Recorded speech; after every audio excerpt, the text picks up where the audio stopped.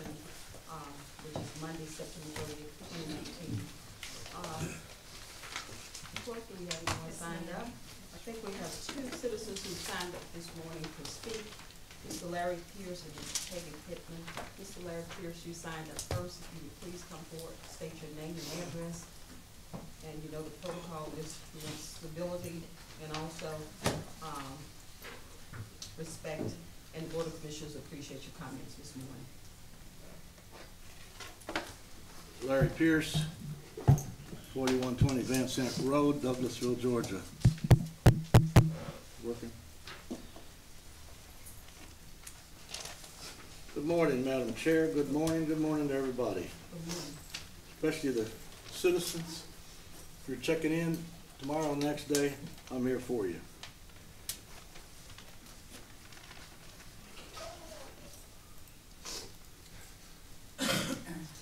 Well, I guess one of the things I'd like to say is that uh, it's sad when something happens in the county, but uh, I guess we all know uh, one of our big fire trucks was on I-20 and a semi-truck driver came on and hit it in the back end. He was from a little bitty town, don't even know how to say it, H-O-R-E-A. Aurora Path, South Carolina. He was 41 years old. And uh, we can think about that for a minute. But what I'd like to talk to you about today is something that really, really bothered me. And it really ought to bother most of you. And that is the right to free speech doesn't come up, and I'm not a preacher about the doctrine and all these things that like Mr. John Tomasky likes to come up here about. But I will say this. A couple weeks ago, I made some comments about the parade, and the corner was on a horse. Now, Mr. Kelly Robinson didn't really like it. He said I was picking on the ADA. Well, Mr. Robinson, Mr. I have a tag. Mr. Peterson, you can't direct anything at our, at our elected body. So I said you can't direct anything to our, to, uh, to our elected body. I was just kind of waiting on you to remember, I said no personal attacks. to Personal attack. Yeah, I, I don't know what Okay. you're ready to say, please don't. All right, how about this then? Maybe the attorney will define this. He's not here today. We Maybe have- his we have- associate. We have, uh, attorneys. Well, there, there's a such thing as rebuttal. Okay. Rebuttal in law is the right of somebody to rebut, so it makes me a rebutter. When somebody says something, they have a right to defend themselves. May I do that? Keep talking. Okay. And, and the reason I say that is because to be under the ADA, which my, that's my tag, I have one. And she has one. And he says he comes under the ADA. All right, maybe, maybe others do too. But you know, I don't think we should hide behind emblems and things. We do what we can do, but I don't think you should ever be criticized, especially somebody that comes up here to talk about things, to try to bring you information like I do. I don't come up here to bring you falsehoods. I don't come up here to do any of that. And it started in the beginning, here, in the beginning here, when I brought, when I brought this about two years ago about two deputies. Well, that was swept under the carpet by saying, Mr. Kelly said, we'll do house cleaning. So, you know, you can do house cleaning and you can take up for your fellow brethren, but you should do it in the way that's right. And when somebody says it's not our job to see what they do in their job, you are wrong. You're wrong because you are the commission of the county, you're the head of the county, and we elected everybody here. And so consequently, you should do what is right, not what is, not is what is in your heart, but what's right. And what's in your heart and right is two different things. Mr. So- Mr. Pierce. Yes, ma'am. The buzzer just went off. Your three minutes. You have exceeded. Okay, three minutes. I'll close by saying I saved the county three thousand dollars a couple months ago by Mr. Axley not going to Las Vegas. Thank you. Thank you. He didn't go. Okay, thank you, Mr. Pierce. We appreciate your contribution to county government, we'll take this. Thank you for allowing me to exercise it on there. Thank you, ma'am. You're welcome. Next, we have Ms. Peggy Pittman. Ms. Pittman, please come forward, state your uh, address and your subject matter as well as free speech. Uh, Yes, um, I'm nervous, so excuse me. My name is Peggy Pittman, and I'm one hundred Smallwood Road in Carrollton, Georgia. Hello, everyone. Um, I just wanted to say that we, Larry Pierce and me and a bunch of other people, about fifteen or twenty of us all meet at Martin's every day. Yes. And, uh, we discuss a lot of matters. And he brings a lot forth, a lot of facts. So pay attention to what he's trying to do and listen to the facts. And, and don't close your eyes on it. Don't close your ears on it. Um, cause he knows what he's doing. And, uh, so sometimes we rip at him, you know, different things and argue about different things, but he has a good point of view of things. And we all, we do come around and eventually see certain ways that he's talking about. So why should the county, you know, uh, lose our money a lot? You know, it's wasted. Um, so listen to what the facts he's trying to tell you. He's doing a good job. He's the only one in Douglas County that's re- re- really to come up here and speak and voice his words to y'all, to tell you the facts that he investigates. So I just wanted to say that he's, he's doing a good job at that. I'm a little biased, but he is doing a good job. So please pay attention. Don't close your ears and eyes open. You know, keep them all open and pay attention to it. What he proceeds to y'all. You know, because he is telling you the facts. And he wouldn't lie about nothing. You know. And it's nothing against nobody. He just wants to un, uh, not have the money of the county wasted. That's not, you know, unnecessary. You know. And nobody to overspend. You know. So I thank you. I appreciate it. Thank you. Thank you so much, Ms. Pittman. Uh, Certainly appreciate your contribution this morning, um, and we definitely will take this matter and advise you. Ms. Pittman, when you mentioned your address, you said you were at one hundred Smallwood, is that Carroll, Carroll County? Is Yes, ma'am. Carroll? Yes, ma'am. Carroll. We just, we just need it for the record, I wanna make sure. Yes, So ma'am, you're from yeah, Carroll Carrollton, County. Georgia. Okay. I stay a lot down here in Douglasville with my aunt a lot and visit her and take care of her. No, you're welcome to speak, I just wanna make sure we have your address. Yes, ma'am. Yes, ma'am. Okay. Um, any questions from the board or comments, uh, Vice Chairman Robinson? th- th- thank you, Madam Chair. You know, again, I always appreciate, you know, anybody, and again, I represent District Two, and, that's important to always delineate, I don't speak on behalf of, of the whole county. And I'm, I'm sensitive to what we have, uh, what they call different segments within, um, the population, right? Thirty-five thousand strong. Everybody look different, right? We have groups of people, segments of people, we have to recognize who they are. But at the end of the day, there's a majority voice that comes forth. So it's never that you don't hear everybody. You hear them. But as the elected official, you make the call on what you think is in the best interest of the whole based on the feedback. Now, I'm gonna address, I don't debate citizens, um, when I talk to my peers. It's just us having conversations. Know, people may respond, they may lean on every word I, I may mention, that's fine, but I, I talk to my peers because sometimes the rhetoric, it becomes politicized. You can't justify your words and try to say it's black and it's really white.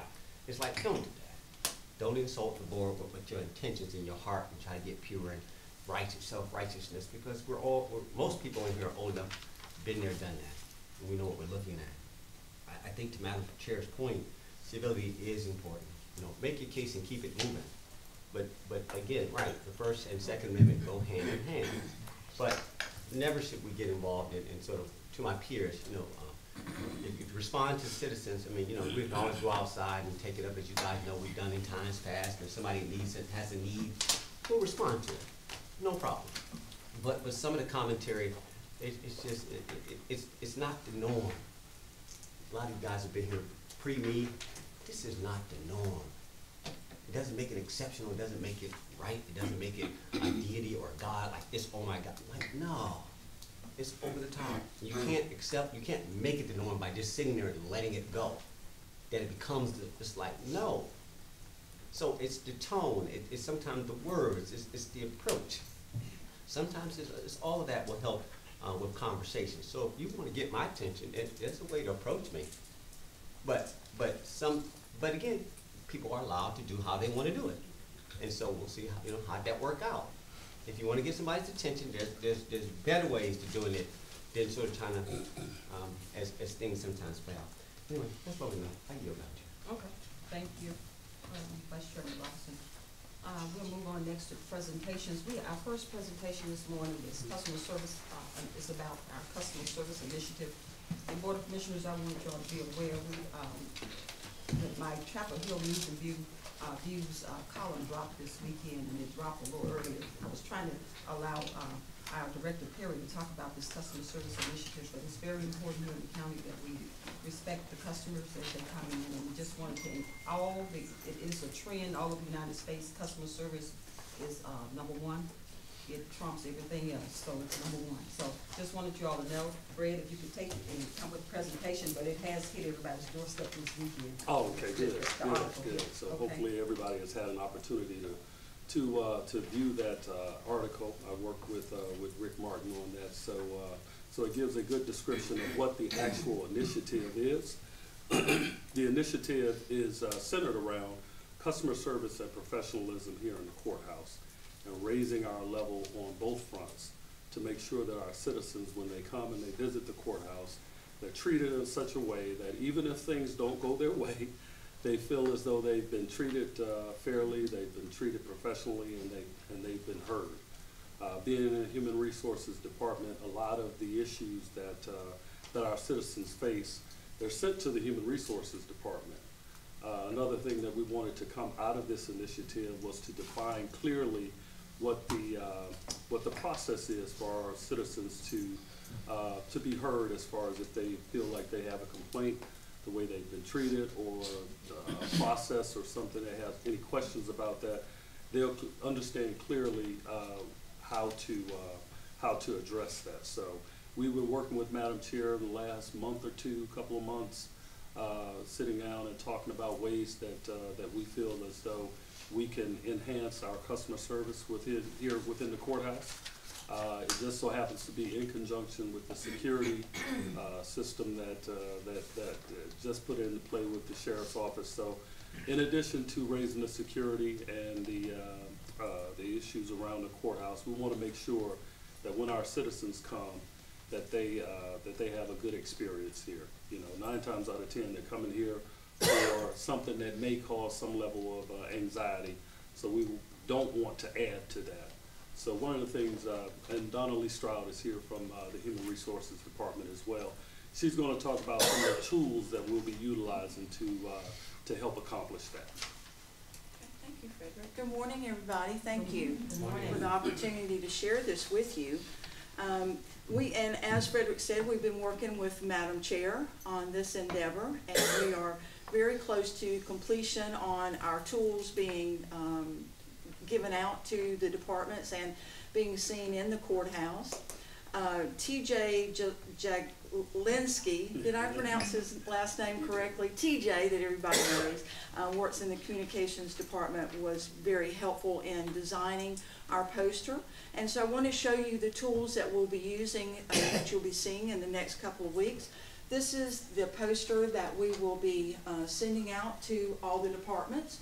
Everybody gets two so that you can put them in your department and display them for your employees. And our hope is that you will share this information with the employees and letting them know what this initiative is all about. And so that they become accountable um, for creating that customer service um, that we so, um, that we want to reach out to everybody and have great customer service for our citizens. Donna, if And our you fellow mind, could you departments as well. on there? It's not that long. If you could, so the board of commissioners uh, realize what's on, on the document, because it was really, how we Sure. found this document, it was here, how many years, very many years ago from the previous? Yes, actually, cleaning out the human resource uh, file room. We found that, uh, yeah, we found that, uh, that document in there. So I just hung it up in the HR department because it's still very relevant today, so. um, Can you read? Donna, You wanna read? Just Okay, read sure. I'll be glad to read this for you. Uh, this is the citizen customer service. Everybody hear me pretty good? Okay, thank you. Um, because Douglas County is committed to serving its citizens, it puts forth this employee policy concerning public relations responsibilities. Citizens are not to do for us, we are to do for them. Citizens are not an interruption to our work, they are the purpose for it. Citizens are not an obstruction to our work, they are part of it. Citizens are not dependent upon us, we are dependent upon them. Citizens are not people to argue with or match wits with. No public employee has ever won an argument with a citizen. Citizens are people, I'm glad that brought you such joy, Mr. Pierce. Citizens are people who bring us their problems. It is our job to handle them in such a way as to be beneficial to them and ourselves. And this is for, particularly for the employees, your attitude, actions, responsibilities, and relationships shape the citizens' impression of Douglas County government. You provide a vital public relations role, for you are Douglas County government. The county's public standing is determined largely by your actions. Therefore, be friendly, helpful, courteous, and sincere. Douglas County Board of Commissioners. Thank you very much, thank you. Then one additional thing, at the posters going up in the departments, uh, downstairs, you may have seen behind the security desk, there's a retractable poster there, um, for safe kids, uh, tips on how to, uh, keep our kids safe. And that's considered a retractable poster, a banner, and we're ordering two of those, one to go in the entranceway there so that all the citizens can, can see that as they come in to the courthouse. Then we'll also have an additional one that we can move strategically around the courthouse as we need to. Um, as part of our orientation initiative, and I have put together just a little sample because I didn't have a prototype to share with you. But as part of orientation, um, the Human Resources Department will be sharing a folder with all the new hires that has the tenants on it. And then on the inside, it has this little statement here that, that I found on the internet. And it says, "We are what we repeatedly do. Excellence, then, is not an act, but a habit." And that was um, quoted by Aristotle. So we're gonna share that with the, the new hires and explain to them the importance of customer service. Any questions from the board? Commissioner Guider? Yes, um, when I was tax commissioner, this was a must. Uh, but, uh, the Better Business Bureau, I think will send someone out free of charge to conduct classes. You might wanna check that out. Excellent, thank you for that. Thank you. You have- And you're back. Okay, Vice Chairman Robinson. Thank you, Madam Chair. Yes, no, I, I, I I appreciate the, the commentary. You know, and, and again, you're, we're, in a, a new day, so I appreciate dusting off the old files, because there were some things that should be embraced from the past, but perhaps they had fallen away. Um, because it was always inherently, obviously here, somebody created it, so I, I wanna acknowledge that. Um, you know, reputational, right? It's, it's one thing to believe that you are, it's another for it to actually be true. So one of the things I'm, I'm looking forward with this initiative is to, to connect, uh, the public perception of, local government in general, but Douglas counties. Right, can we really deliver on that promise? The sentiment in the broader, you know, the broader region may be Douglas County, well, what we see is this versus what we think we are. And I, I, I believe that, Madam Chair, that this initiative is, is gonna help fill that gap, um, because obviously you, your, your, your executive administration is the, I won't say, the, the first line, I won't say first response, but it's the, it's the first line. It, it represents, uh, people downstairs in line, people coming to the courthouse for various reasons. Everything is not about judicial. Sometimes you have business with the government, and, um, um, attitude is everything. So I look forward to this. Um, sometimes we can get, uh, not that it's bad, but it- sometimes we can get lethargic. Yes. We can get sort of comfortable in that, and, and, and real easily, government can slip into sort of being, um, deities, right? They have authority, you got a thousand people that's controlling a hundred thousand adults, right? They just sit there and they look comfortable, it's like, well, you gotta do what I say, I'm government. It's what, it's real subtle, right? How, how, how our employees could easily slip into that, because again, you're a monopoly it's easy just, I mean, whether you're at the front desk all the way up to a general, you're that person. And so I, I'm, I'm hoping that this will, at least in Douglas, begin to, um, uh, begin to transform how we connect with our, our citizens, Madam Chair, because they do deserve it. And I think the things that you guys put forth, and I, I hope we can fulfill that. It's just not a poster moment, but can we really do it? So I look forward to it. And then it's gonna be, uh, we will measure our performance as we go forward as well, Fred, and remember we said as we go into this, we'll start with some surveys a little later, just to get some customer feedback, so we, we wanna make sure it's measurable. But we wanted to kick off with this first. Any other, uh, comments, uh, Director, HR and also Donna, thank you all so much. Any Thank you. other- Thank you. Anything else, uh, commissioners? All right, thank you all. Thank you, you're welcome. We're gonna move on to our s- the next presentation, which we all been waiting for, the Douglas County Pavement Evaluation Ratings. And, uh, we have our own director, uh, Miguel Valentini, here to kick off. Yes, uh, good morning, Madam Chair and Commissioners. Uh, Over the last several months, perhaps uh, earlier this year, perhaps even late last year, uh, we contracted with Moreland Altobelli to do an assessment of the pavement condition. The last one that had been done by the county uh, in any significant way was in 2005. So it was certainly overdue. And uh, the, the uh, members of uh, Moreland Altobelli have gone out in the field, physically inspected the pavement uh, of all the roads, and they've developed a list uh, with the rating uh, as of last month. And um, they have a presentation for us today that we're gonna go over. And we are in the process of developing the cost of each of those individual uh, treatments that can be applied uh, to the pavements. And uh, the uh, overall results are, well, I'll let, I will not steal their thunder, but it is quite significant, so. So Mr. Mike Malcolm of Moreland Altobelli will do the presentation. Thank you, Mr. Malcolm. we appreciate it, thank you so much. uh, Director. Good morning, as Miguel said, I'm Mike Malcolm uh, with Moreland Altobelli, uh, and uh, worked many years in government. I'm uh, actually a state of Georgia retiree, uh, worked for the Department of Transportation for over 30 years and have been a consultant uh, for the last 10. Uh, And we want to, we're proud to present uh, our, our findings from the uh, pavement evaluation we've done. Go through a little bit. This is a, an example, this is the paver software that we used, and how you go through the ratings. There are like fourteen different, uh, main categories, and I'm gonna cover a couple of them, but, uh, uh, we look at different areas of, of the pavement and, uh, go into the, the software that y'all chose, uh, which is paver. Uh, and, some of the main deficiencies we looked at were one that everybody's familiar with, alligator cracking. There are basically three severity levels of alligator cracking that you look at. Low, which is just starting, medium, where they start forming the little blocks, and then, uh, over here, the high, where it gets pretty significant. Pavement starts popping out. Uh, I'm gonna go through this pretty quick, but, uh, block cracking we looked at, which is where, the- of course, it looks like they're starting to block around.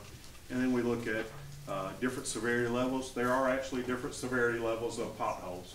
Where the asphalt first starts coming out, uh, you know, then it becomes what you really see as a pothole, and then when it really becomes tire busting pothole, so. uh, So we got those. Uh, The way the paver system breaks it down, it, uh, not only looks at different types of deficiencies, but we look at the road classification. And basically, uh, here in Douglas County, and I'll go through these pretty quick, but, uh, we looked at, uh, these, basically, five different types of roads, and then you have some that are kind of unused. Uh, are your main roads, it's like Lee Road and Riverside Parkway, uh, provide this fastest mode the traffic, uh, you know, get you, uh, you know, this, this is the one step down below an interstate. Uh, they're also sometimes called major arterials. Then we have the arterials or minor arterials. Uh, Bright Star Road, Mason Creek are a couple of ones that are identified as arterials. Uh, Smaller than the major, but still provide connectivity. Uh, You have collectors, which are kind of, uh, we have Man Road, Phillips Mill Road, a couple of examples. Uh, they go through the arterials, uh, what ties the residential roads into the arterials. You have the industrial roads, Leslie Drive, Sydney, uh, you have several of those here in the county. Um, They're the ones that are primarily used to tie into an industry. Uh, residential, of course, the ones that we're all familiar with are, uh, the ones in the, the subdivisions. Uh, Usually, you don't want them to be used as through roads. Uh, And, uh, so, the next thing we looked at is, we met with Miguel, and, the paver program will let you set your own condition categories. And we identified condition categories, uh, based on what's called a pavement condition index, or a PCI. Uh, each of the roads that we did came up with a PCI, and, uh, we provided that to Miguel. Uh, and then what we set was if it was a rated between an eighty-six and hundred, it was an excellent road. Between seventy-one and eighty-five was good. Fifty-six to seventy was fair. Forty-one to fifty-five was marginal, and forty and below was poor and very poor. Uh, So, uh, like I say, we're, the, the program will allow you to set those parameters at whatever you want. uh, And you can name however many, I mean, if you wanna do, uh, uh, you know, multiple different classifications, but this gave you a real good, uh, index for, uh, for identifying each of the roads. Uh, we then, I'll, just, yeah, go through a few slides here. An excellent road basically has very few deficiencies. You won't find very much wrong with those at all. Uh, good road, you start to see a little bit, uh, of cracking in there, but, uh, it's still not, not requiring much. Uh, maintenance, our fair is, you're starting to see some of the alligator cracking, but it's not really popping out where you don't have a lot of potholes and not completely destroyed. Uh, marginal is getting a little bit worse, you start to see a lot of the block cracking, uh, a lot of the alligator cracking. uh, And then you get to the poor, very poor.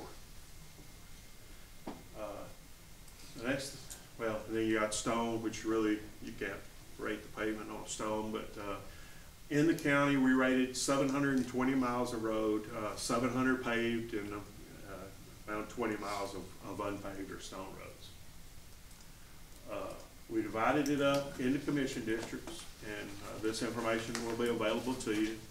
Uh, this is not real pretty when you get through it, but, uh, it is what it is.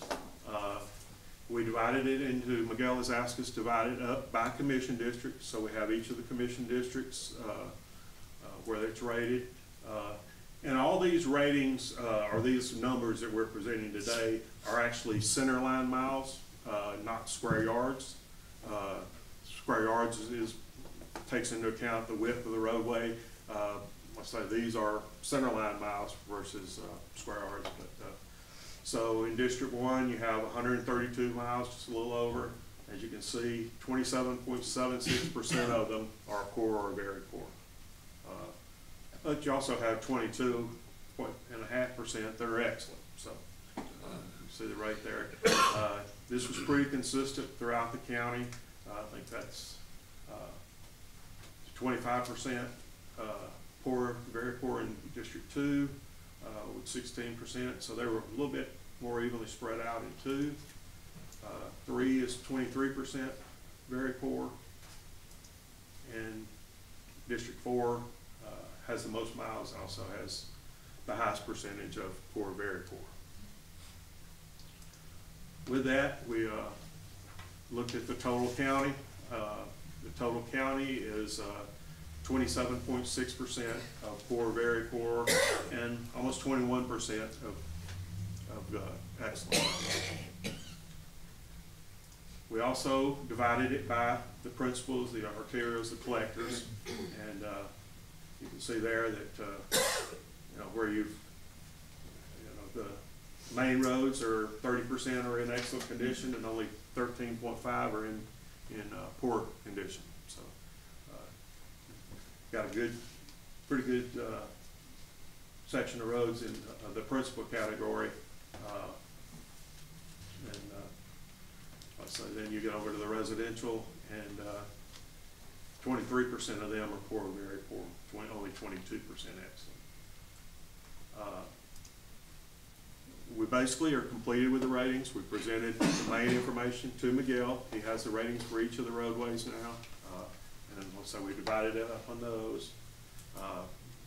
The software has been ordered for the county, we're buying licenses for the county of the paver software, and then we'll turn the database over to them. I mean, he basically has all the information now, that it'll actually be the database in the paver software. Uh, We've been working with Miguel, as he talked about the cost, to set up uh, the repair, maintenance, repair, and uh, project identification part of the program, uh, which the program will allow you to do uh, based on the type of PCI and type of practice. And then we'll be providing training for the county staff. So That's basically it. Any Any questions or questions, Vice Chair Robinson? I saw you. Yeah, the- the- thank you, thank you, Madam Chair, and, uh, again, um, just as a, as a, a backdrop, this was presented to the Transportation Committee in briefing. I thought it was important to come directly to the full Board of Commissioners, though, as an acknowledgement without necessarily any action, um, being taken. Um, this is something, um, that we talked about, uh, probably last year, Commissioner Crock? Yeah, uh, Commissioner Mulcare was still in office, uh, and this is full acknowledgement, we amended our agreement, uh, with Moreland to allow them to go do this. I think we all agreed five oh that this was important. Um, you know, we talked about the, uh, it's been stated, roads and revenues. Uh, but yet, you know, even like with Across America, we haven't done a very good job in maintaining. Uh, we haven't. Right, and that was so important, and I appreciate the way you presented, but it's okay, we wanted it to be transparent. Look at it, nothing was maintained. Nothing. Right, so now it's here, and what we didn't get into, which obviously is always important for me, is like, okay, how much is it gonna cost? To make, to, to get this thing up to where it needs to be, to get back onto a normal cycle of maintenance. I, I, appreciate commentary about waste and spending, but you, you've got to maintain, and maintain has a cost. Now, Miguel, I think, and Madam Crawford, you helped me with the math, I think you said, what, seven hundred center miles or something like that? It was like hundred forty million if we wanted to do all roads. So it's sort of like hundred forty million. Remember when we had this conversation? Well, remind me. Well, certainly we did. Um, Like I mentioned earlier, we are still tweaking the numbers to make sure that we are including all of the elements that go into each category. But uh, uh, to, to do the seven hundred miles, Yeah. well, actually, we would not do much to the excellent category. So, so to do the remainder of those, it, it's- looking like around two hundred million closer to two hundred million. That, that's two hundred million just to get to par. We, we that, that, that, that far behind in strokes, right? And then we gotta keep maintaining. Those are two separate conversations, obviously. Um, it, but I, I think it's important. I, I think again, uh, which is why I, I, push very hard. And taxpayers, they wanna at least experience their tax dollars on a daily basis.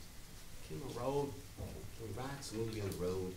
I mean, if I gotta grind over to Atlanta, to the metro area where, you know, eighty percent of roughly go to, to, to bring back, you know, um, dollars here to take care of our families and so forth, can, can, can at least the road be paved? Can you not tear up my car with these potholes and stuff? I mean, I, I get it, but it's not like Douglas County didn't have money. So that, that- that commentary needs to be like, no, you just had a different set of priorities, right? It could've been balanced off. right? Again, I, I've gotta give you a trade-off, like, okay, so two hundred million, that means that, okay, so if we, I gotta use it, if I overbuilt the jail by forty percent out of hundred million, that's forty million, that means I could probably did all of District Four during those eight years that the three of us been together, the whole thing could have been paid. You overbuilt the jail, but yet, you know, you didn't do nothing for her roads. Right, and so, I- Madam Chair, I appreciate that you, you've embraced this and that we, we can come up with some type of funding solution that will actually get us up to par. You know, you may have to, you know, be in a different bucket on how do we maintain it going forward, but I think it, it's worthwhile and, all right, so forty million. You know, how, how do we fund that? You have a SPLOST, there's other financing options that obviously need to be looked at, but it, it's great to have the report, but unless we take action, then it's just, it was just a nice report for another fifteen years. So my last comment now, um, to, to, to Miguel is, um, and this is important, for, for the citizens, and I get this all the time, well, when is my road gonna get resurfaced and, and that? Will this, will there be a public portal, or, or to- will we- how will we facilitate that, that may allow self-empowerment? I can go out there and put Riverside in and see when it comes up, the next time it comes up, how, how does that work? Or are we, we as commissioners still have to just call you and stuff, how does that work? Well, we have, in fact, um, each of you should have or will have very soon a, a uh, report with all the results of the rating. Okay, That report, if it is the, uh, uh, the wisdom of the board, would be posted online for anybody to be able to access. So they can go on there. The one that, uh, that you're gonna get is by district. I, I sort of Yeah. sense that you probably would home in on the roads in your particular district, but we can sort it uh, any way. Uh, alphabetical is probably the way most people search it from the outside. right. So we will post a ver, an alphabetically sorted version of it. And uh, so the public can go on our website and look up the road and find out where it is. That does not answer your question, Commissioner, because um, when the road is gonna be done goes to the issue of how much funding are we going to have any given year. And so the process will essentially be, uh, the way it's been in the past is one year at a time. We, we develop a list of roads that is gonna, that's gonna be either contracted out or done in-house for the next period. So it's either the spring contract or the next year for in-house stuff. Those roads, those lists, once the board them, will be posted online. So that is as far ahead as we are able to identify specific roads. Okay, well, let, let, let's clarify, all right, so just use District Two, right? So there's a listing of roads, and it's gonna be this, this, this, this, this schedule, um, whatever it is. Um, hopefully this information can be put online. And simply, it's one through one hundred, let's take a conversation, hundred roads, one to one hundred, and this is for the, the worst road to the best road, all the way down, in my opinion. Um, there's one way, um, that it could be sorted, which allows, you know, I just say Lee Road, because it's not, but Lee Road was the worst road. All the way down to Riverside was the most, you know, for the sake of the conversation. And so, for the citizens, they can at least get a relative that says, okay, I'm at the top of the worst roads, and it's all relative. I mean, I, I hear you because you don't wanna, um, and that's something we have to work as our peers. You don't wanna commit, because you know, at the end of the day, it is the board of commissioners, and so you don't wanna put anything out there, but it's still back to transparency with the citizens. It's still their information. It's still let them see, when we can bridge the gap and like, okay, we're only gonna do ten miles per year. I'm gonna tell you that, I'm not gonna put that in writing, but it's ten miles per district per year.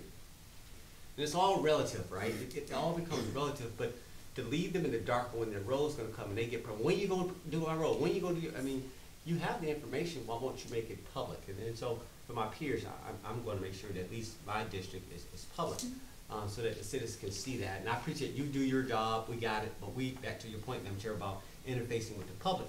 From a constituent services, we have to do better in making sure that information is available. So long as you make it available to us, then I'll make sure, at least for my area, that I drive that home. Because I think, while I don't wanna put the administration in an awkward place, Madam Chair, of that, well, y'all committed to this, I think for you know, being that, uh, you know, uh, being a district, we still have to communicate, um, and advocate for them, so. Okay, thank you so much, um, Commissioner Guider. Yes. And, um, was it, the roads that you graded, were they all unincorporated? None of them were in a municipality or anything?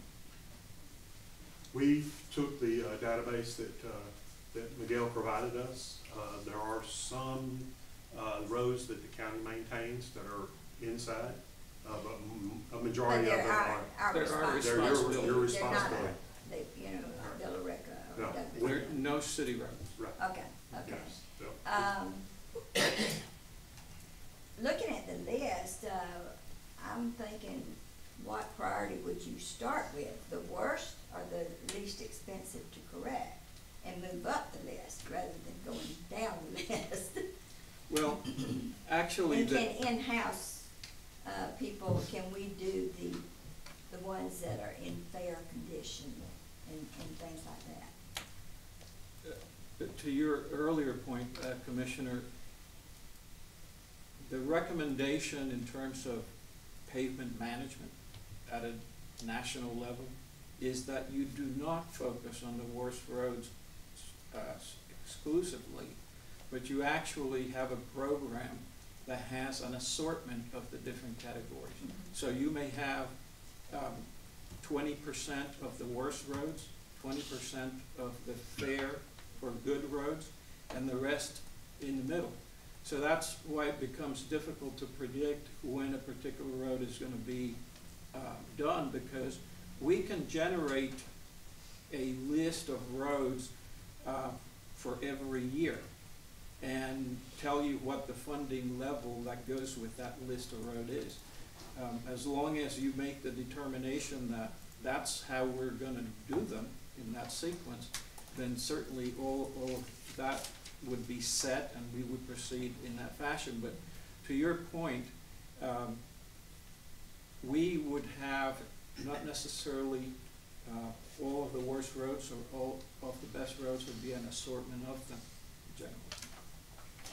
But the in-house people could, uh, attend to some of the fair roads or uh, Yes. moderate roads. Yes, Where we would probably have to contract out the worst, the poor roads and everything. Uh, bec- and, um, we might could work from both ends. And work, work toward the middle, you know? But, um, I've always put my roads out there on my website and I, I put it in a newsletter people know what we're paving in, in a certain year. And they appreciate that, but then I'll get a phone call, but when are you gonna get the money? And, um, and I, I've said this, every year I've been on the board, I've got two to one road miles to some districts. But I only get the same allocation that every other, uh, district gets, twenty, is twenty-five percent.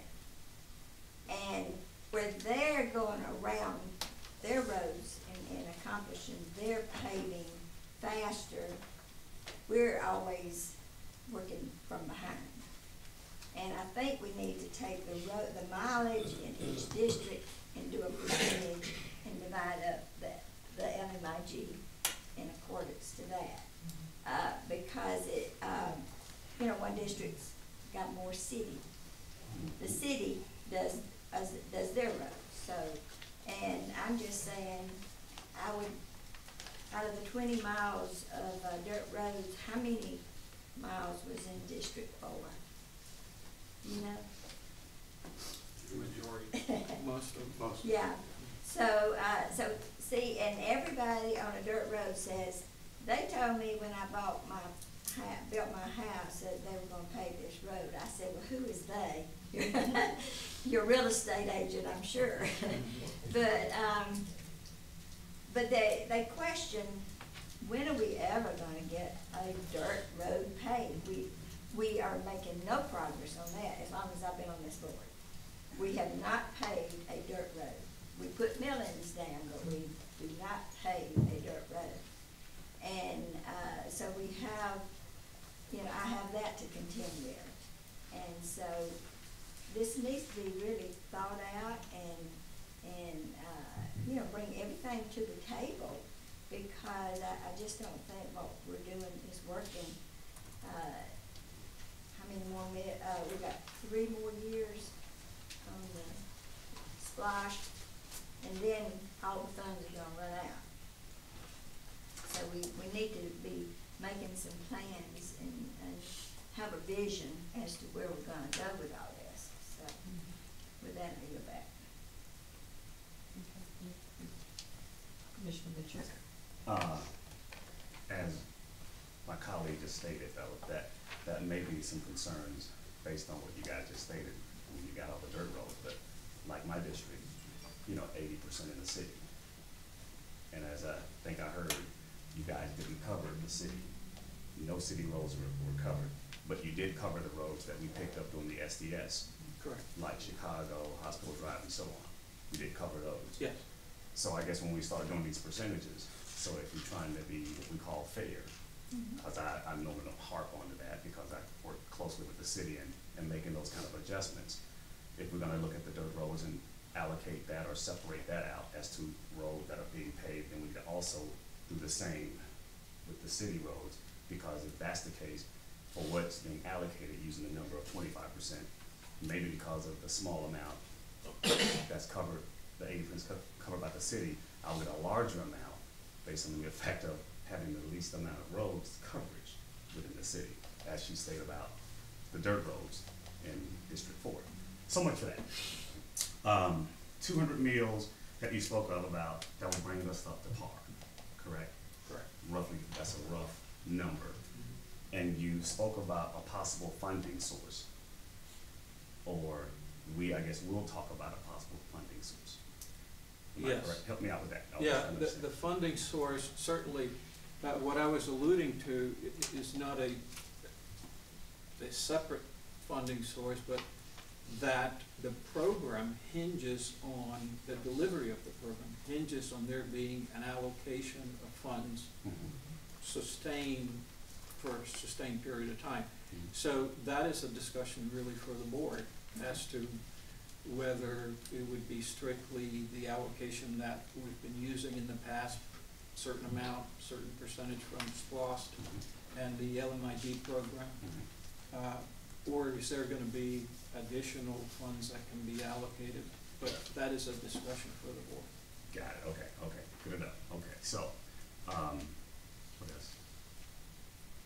And you did talk to me about the breakout of the, cause I was looking at the city of Villa Rica, Douglasville, and small portions of, of roads that are outside of that, and, okay, well, like you, you covered my, my other ones, doing the SES and all that good stuff, so, okay, I'll, I'll yield back with that being said.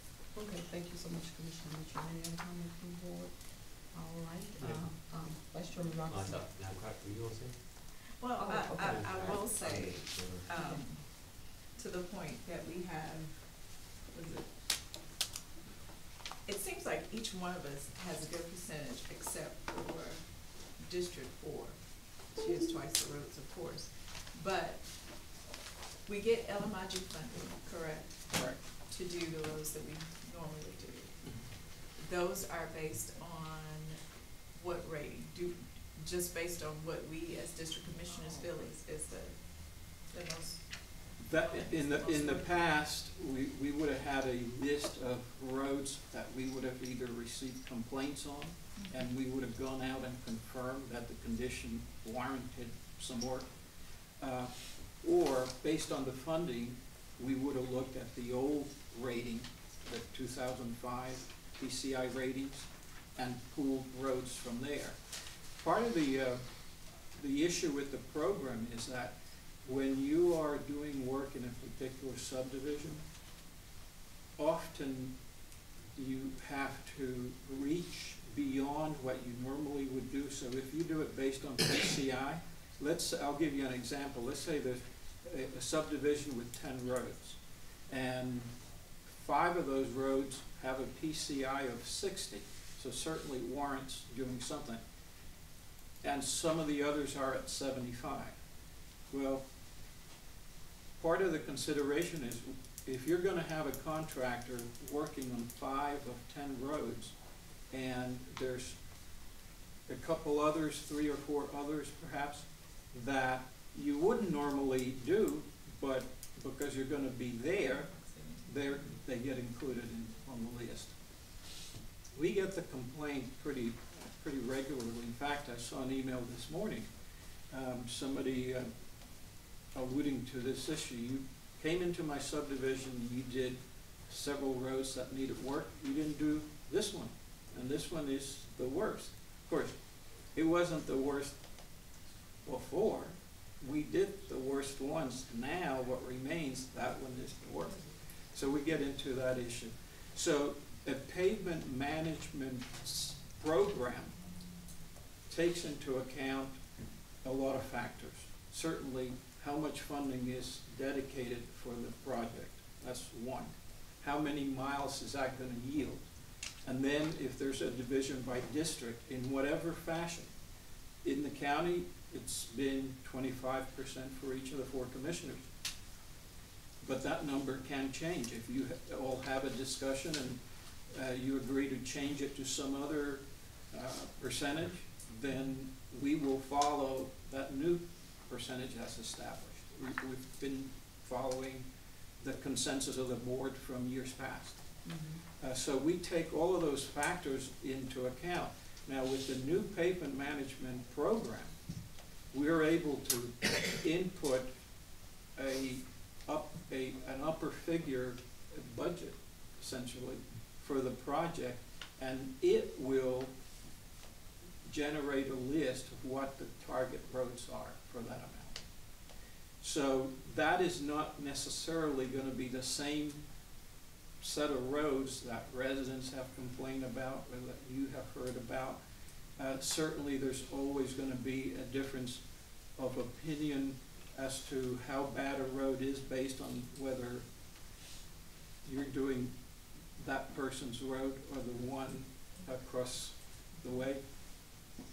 So you're always gonna run into that, but the program will generate sort of a universal roads. If you tell it you have a four million dollar project, then it will select, based on the criteria that we have developed, it's called a decision tree, it will select, let's say that we were gonna do twenty percent bad roads, twenty percent good roads, and twenty percent of all the other categories, so five categories. If that were the decision tree, then it would generate a list of here are the candidate roads that meet that criteria. And that would be the list that we would start out with. Certainly, there's gonna be other roads that, um, are candidates as well, and we may, the board may decide that, okay, I was gonna have, uh, based on the list, these roads, there is another road that is a higher priority for a variety of reasons. We would rather do that one. There's discretion as to that. But essentially, well, uh, because of the cost implications, it, it's almost like you would have to trade it, uh, trade a new road for one that's there of the same length, more or less. But, uh, we do have some discretion as to that. There's always the possibility that if, if there is a new priority or something that the county wants to an area that the county wants to focus on, uh, if there is an opportunity for economic development that you want to further, uh, development, uh, road improvements in a certain area, you can certainly do that, uh, in lieu of the list that's generated by the rating program, but it, it does take all of the factors that normally would be, uh, the decision points for an engineer, and it, it does it automatically because it, it's got the parameters to, to search by. It's pretty neat. One of the things I did notice is that our residential streets are kinda on the back burner and our arterial roads and the ones that we use the most seem to get the most attention. Mm-hmm. So we, we, we wanna even that out, so it seems as though the software you're saying will be able to do that because it'll take into consideration all of We certainly have the, the opportunity to do that. One, one of the things, um, not to argue your point, it's a very valid point. One of the reasons why generally there tends to be a, more attention on the, on the collector and arterial roads are because they are viaducts. They, they, not only do they carry more volume, but they also expose the county to more people and they present a different image depending on their condition. That was it, I was just trying to get an understanding, thank you. Okay, okay, Commissioner. Yeah. Commissioner Gotti, did you have something else right there? No. Madam Chair, I I think he. Oh, oh, I'm sorry. he was It's- first. did. Vice Chair, I'm sorry, go on. My- No, you yielded her, I'm okay, I just wanna get, No, you, okay. you were next, I'm All sorry. right, all right. Michael, get turn my loose. No, no, that's quite, no, no, to your point about volume, and, and again, this is, this is a very, very important topic, I mean, we show up every two weeks and stuff, but this is one that's worthwhile, the, the conversation. Uh, it, it's something, uh, to Miguel, um, excellent presentation, excellent. Um, it's important because it, it's, there's a cost with this, right? Um, there's a, when we, we started a couple of years ago, and Commissioner, Mr. Commissioner Powder, you were involved, when we had the capital transportation fund. We had to commit to it and put money aside. This was during the recession. We had to put money to aside to be able to address either things that were in- unanticipated or just normal maintenance, it's just, it is what it was. We did just a little amount. We did that, right? But, but we recognize that we- just, we, we, you know, you have, you just, okay, I'm not gonna pay attention to it much. And again, like America, this thing has deteriorated. You know, so the, greatest country in the world is like this hundred-year run as a world power, our infrastructure has crumbled. We haven't addressed it. We're playing politics with money. So this is related.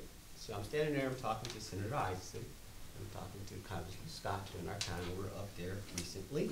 And I bring up, I bring up this point about infrastructure. And my point is that we're gonna do what we need to do at the local level, but I'd love to be able to leverage our capital dollars. I know that they're, they're, they're, it's not that many. I know everything is competitive, but if we got our act together and we're shovel ready, um, I, I'd really like to have some type of favor. That's sort of how I left. In other words, like, I, I, you gotta do what you gotta do. I get it. Likewise here, we have to agree that this is political. Are we gonna put our mouths behind this? Do y'all know how much this is about to cost? This is forty million off the clip.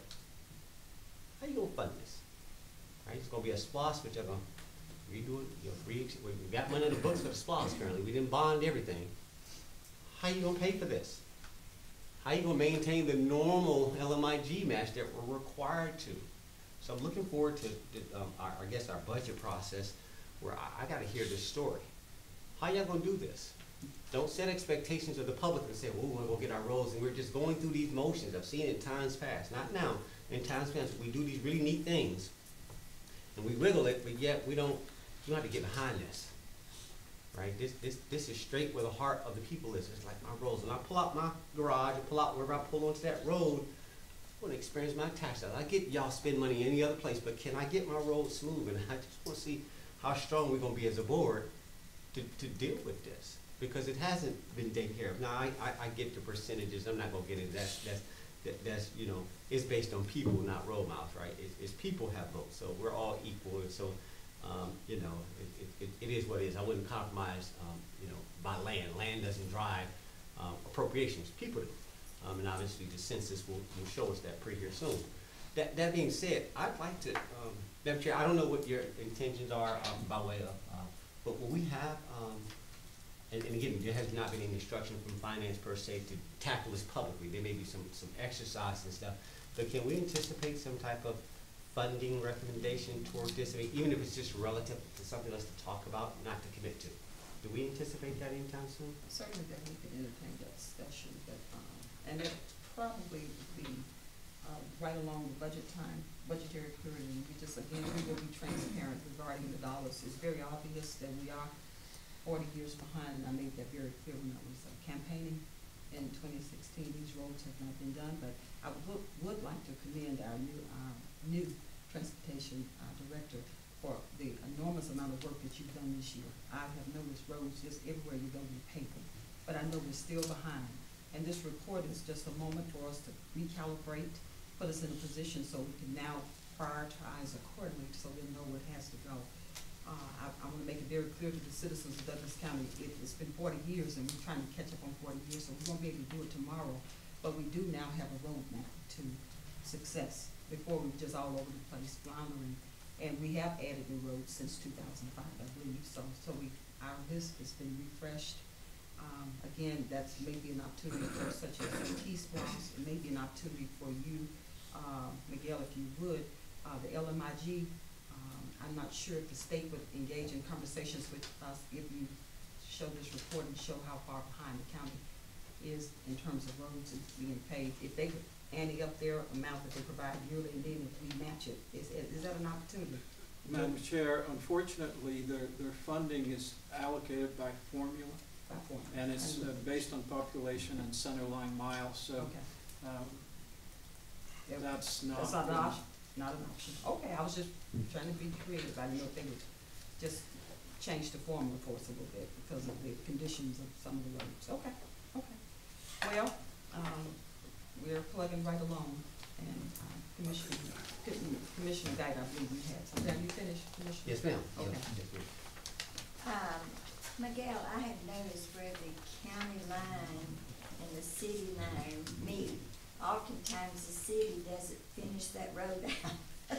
and it just may be a few hundred feet. Do y'all coordinate anything with the city, uh, We- the We do. intersection that comes to my mind is Chapel Hill Road, Stewart Mill Road. At Chapel Hill Road, there's a section where the county, uh, or the city uh, boundary comes through there that needs paving so badly. But, uh, and that, that happens on several places where there's just a few hundred feet that's in the city. Do you coordinate with them We at do. all? We do, and, and uh, not only with cities, but counties as well. And the issue tends to be one of timing. We, we're generally well ahead of them in terms of delivering that project and, and having a contract ready. Uh, but we certainly do reach out to the city whenever we have a joint jurisdiction road, um, and other counties as well. And if they're able to, uh, either have, enter into a memorandum of understanding, uh, agreement with the, with us, and they're wanting us to include that road, we certainly would consider that and bring it to the board for, uh, for inclusion in the contract. But, but, um, to, to answer your question, Commissioners, we do, we do coordinate and, uh, communicate with them. And to address the white elephant in the room about the funding and everything, uh, probably the best bet would put out a bond and let the people vote whether or not they will fund it. Have a bond, uh, just for roads, dedicated to roads. But of course, we've got SPLOST going on, so we may not can do that until after the SPLOST is over.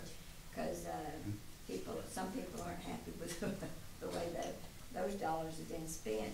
But I do disagree with my fellow commissioner about it should be divided by people because the people in Douglas County does not know where District Four and District Three, the lines start.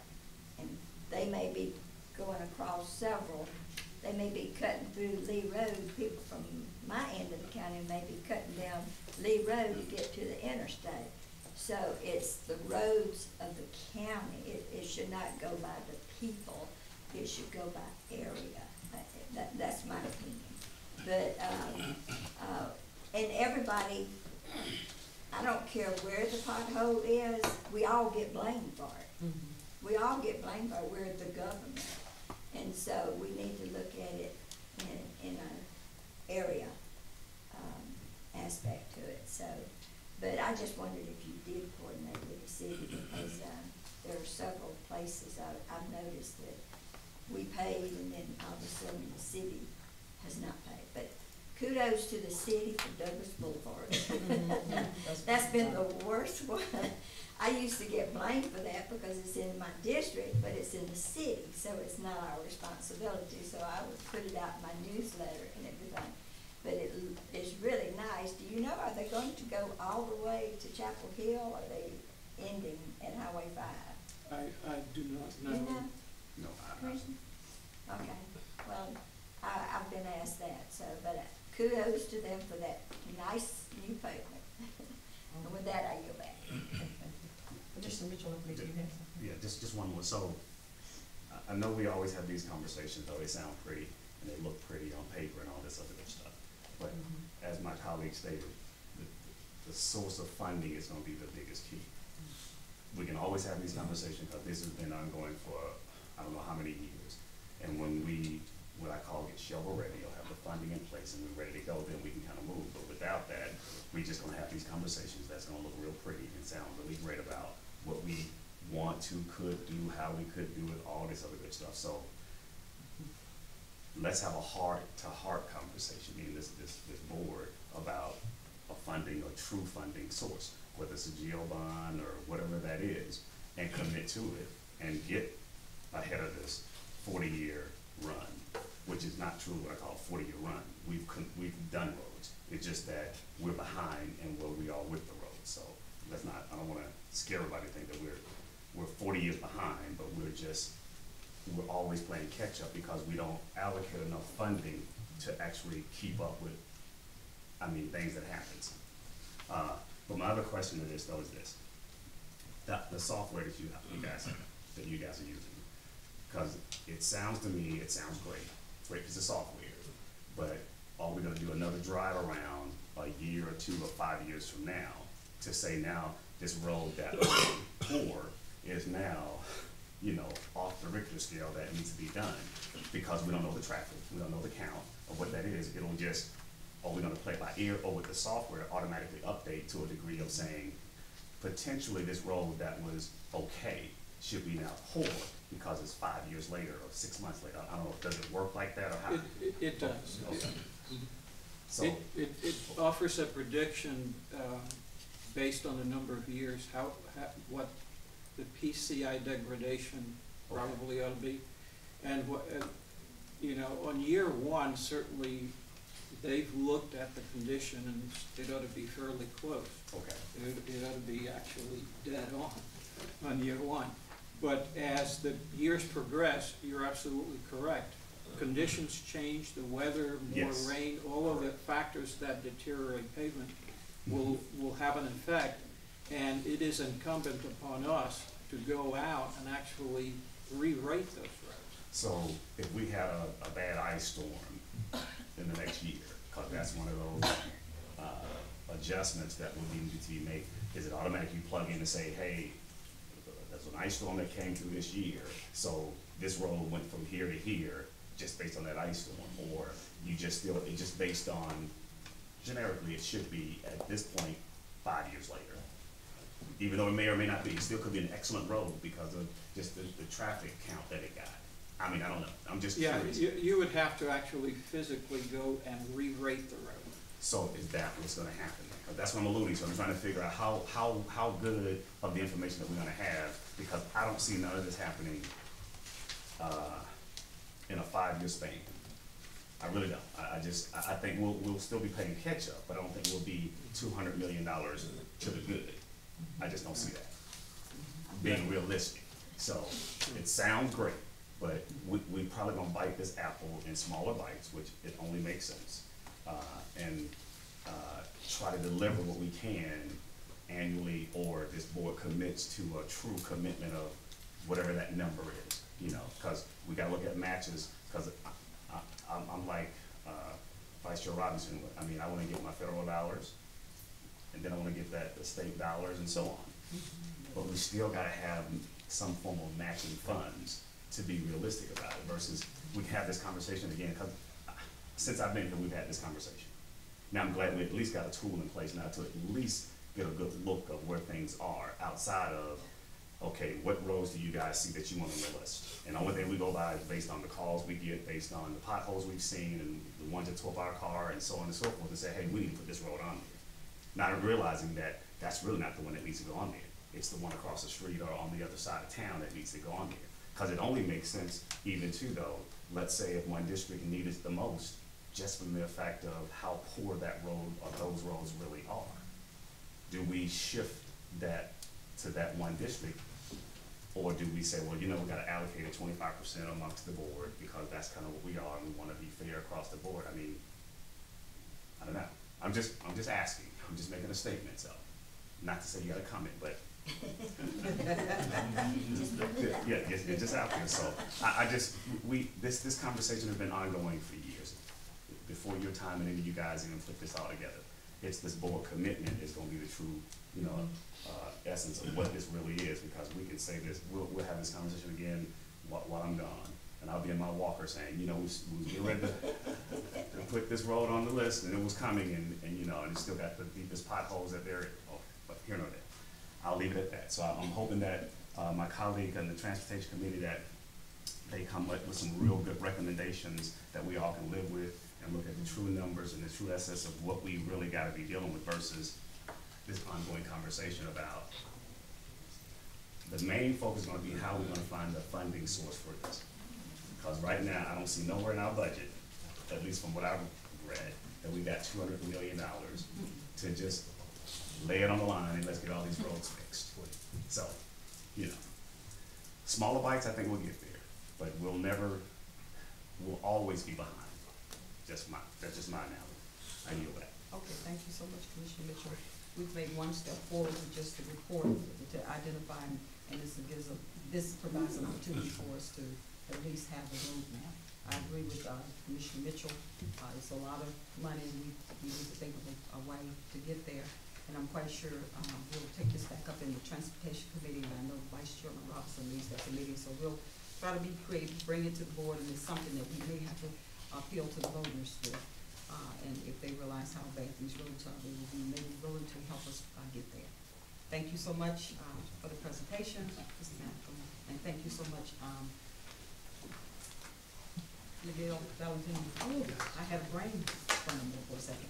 All right, Board of Commissioners, we have approval of minutes tomorrow, so please be prepared to approve the minutes accordingly.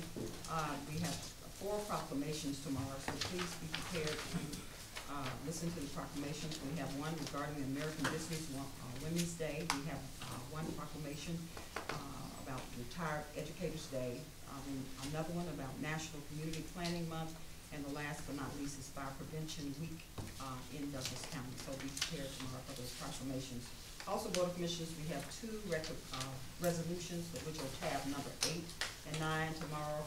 Is an approval of a resolution in support of an application for federal funds through the Atlanta Region Commission for various transportation projects.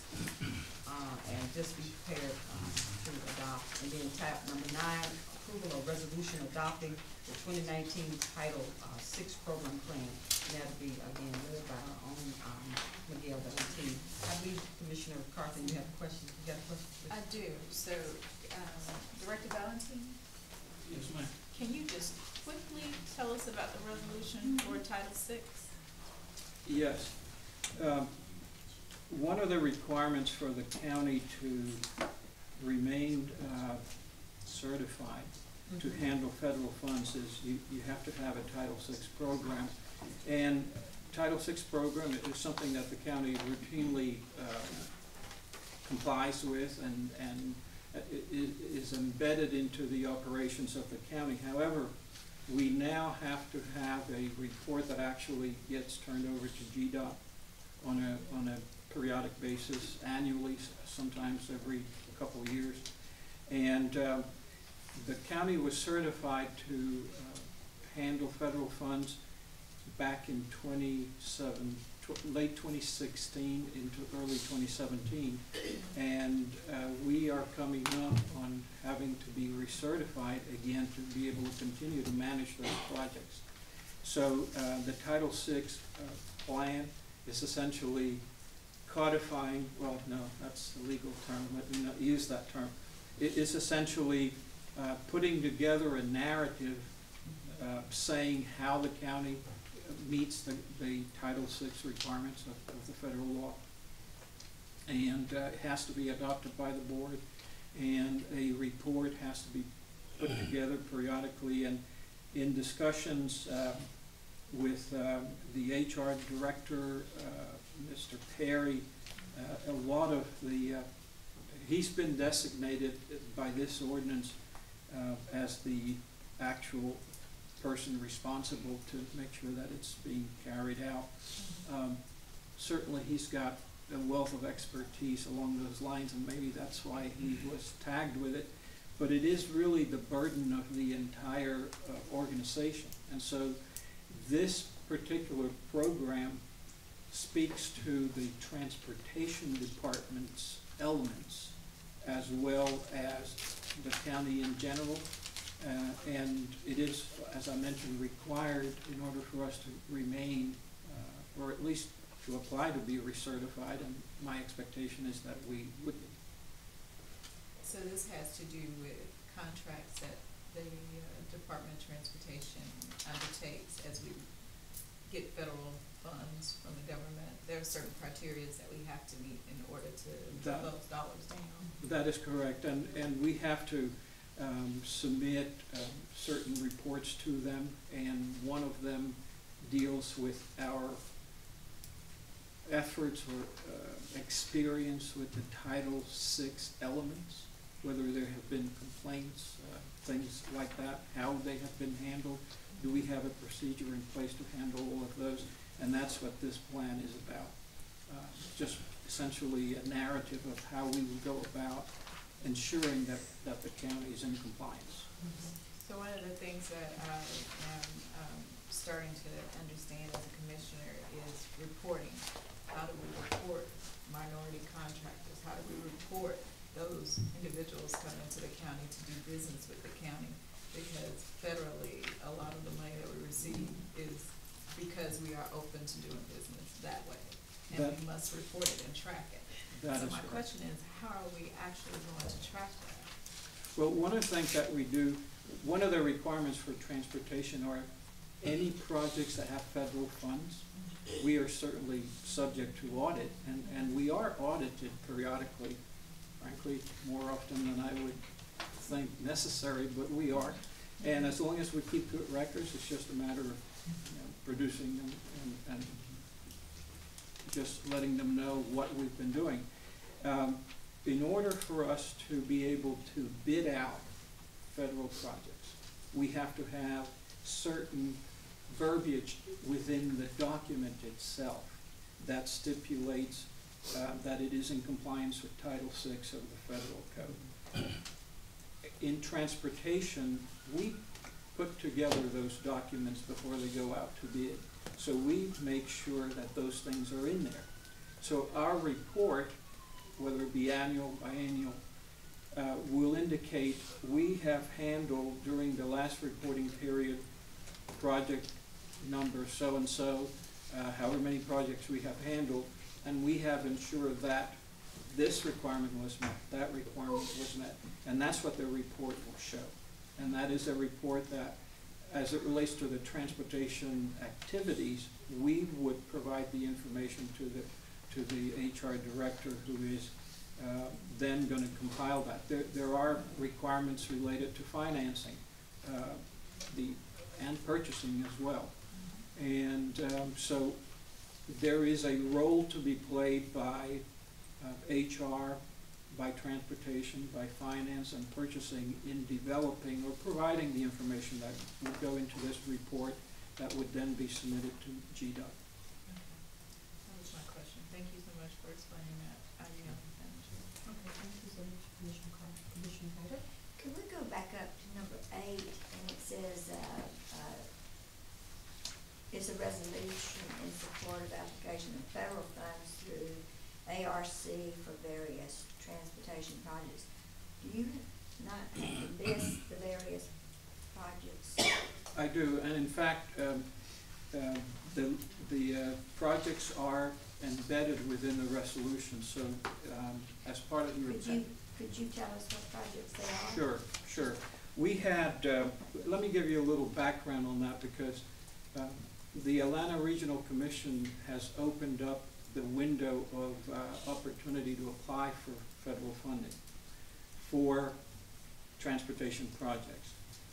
But of course, it's all competitive, all the counties in, in the region and, and cities and CIDs can apply.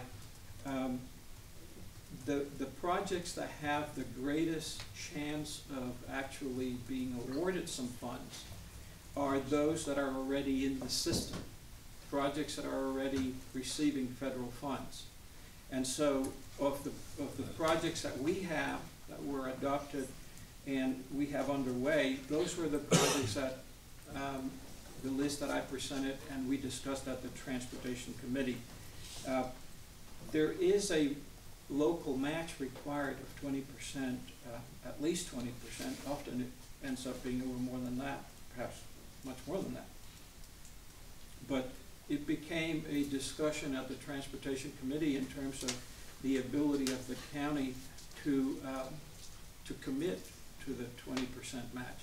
So the issue becomes, if we are asking for, say, twenty-five million or thirty million dollars potentially of federal funding, if they should award all of that, and we have to have twenty percent of that match, Which is five million dollars. which would be five million dollars. Now, not all of that. six, to be exact. Okay, all right.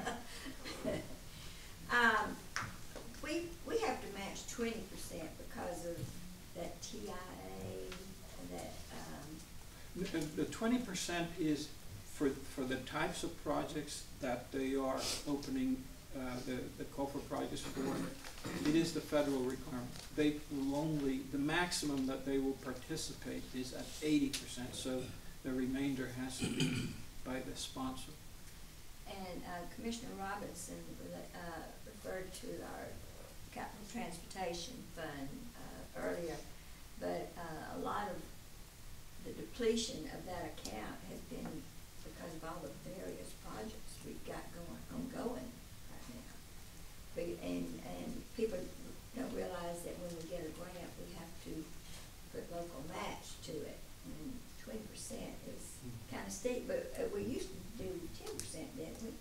And then it moved up to twenty percent after the, we did not pass that, I, I think you're thinking of the LMIG program. It used to be a ten percent local match for LMIG, and because of the TIA, that act, that, Right. that was not passed in the region, it went to thirty percent.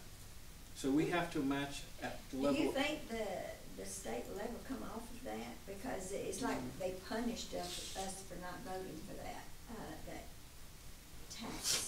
They viewed it at the time as an incentive to vote for it. So Well, there wa- there wasn't relative. too many areas that really voted for that, but they're, they're punishing all the others because it's like they tried to take our voice away from us.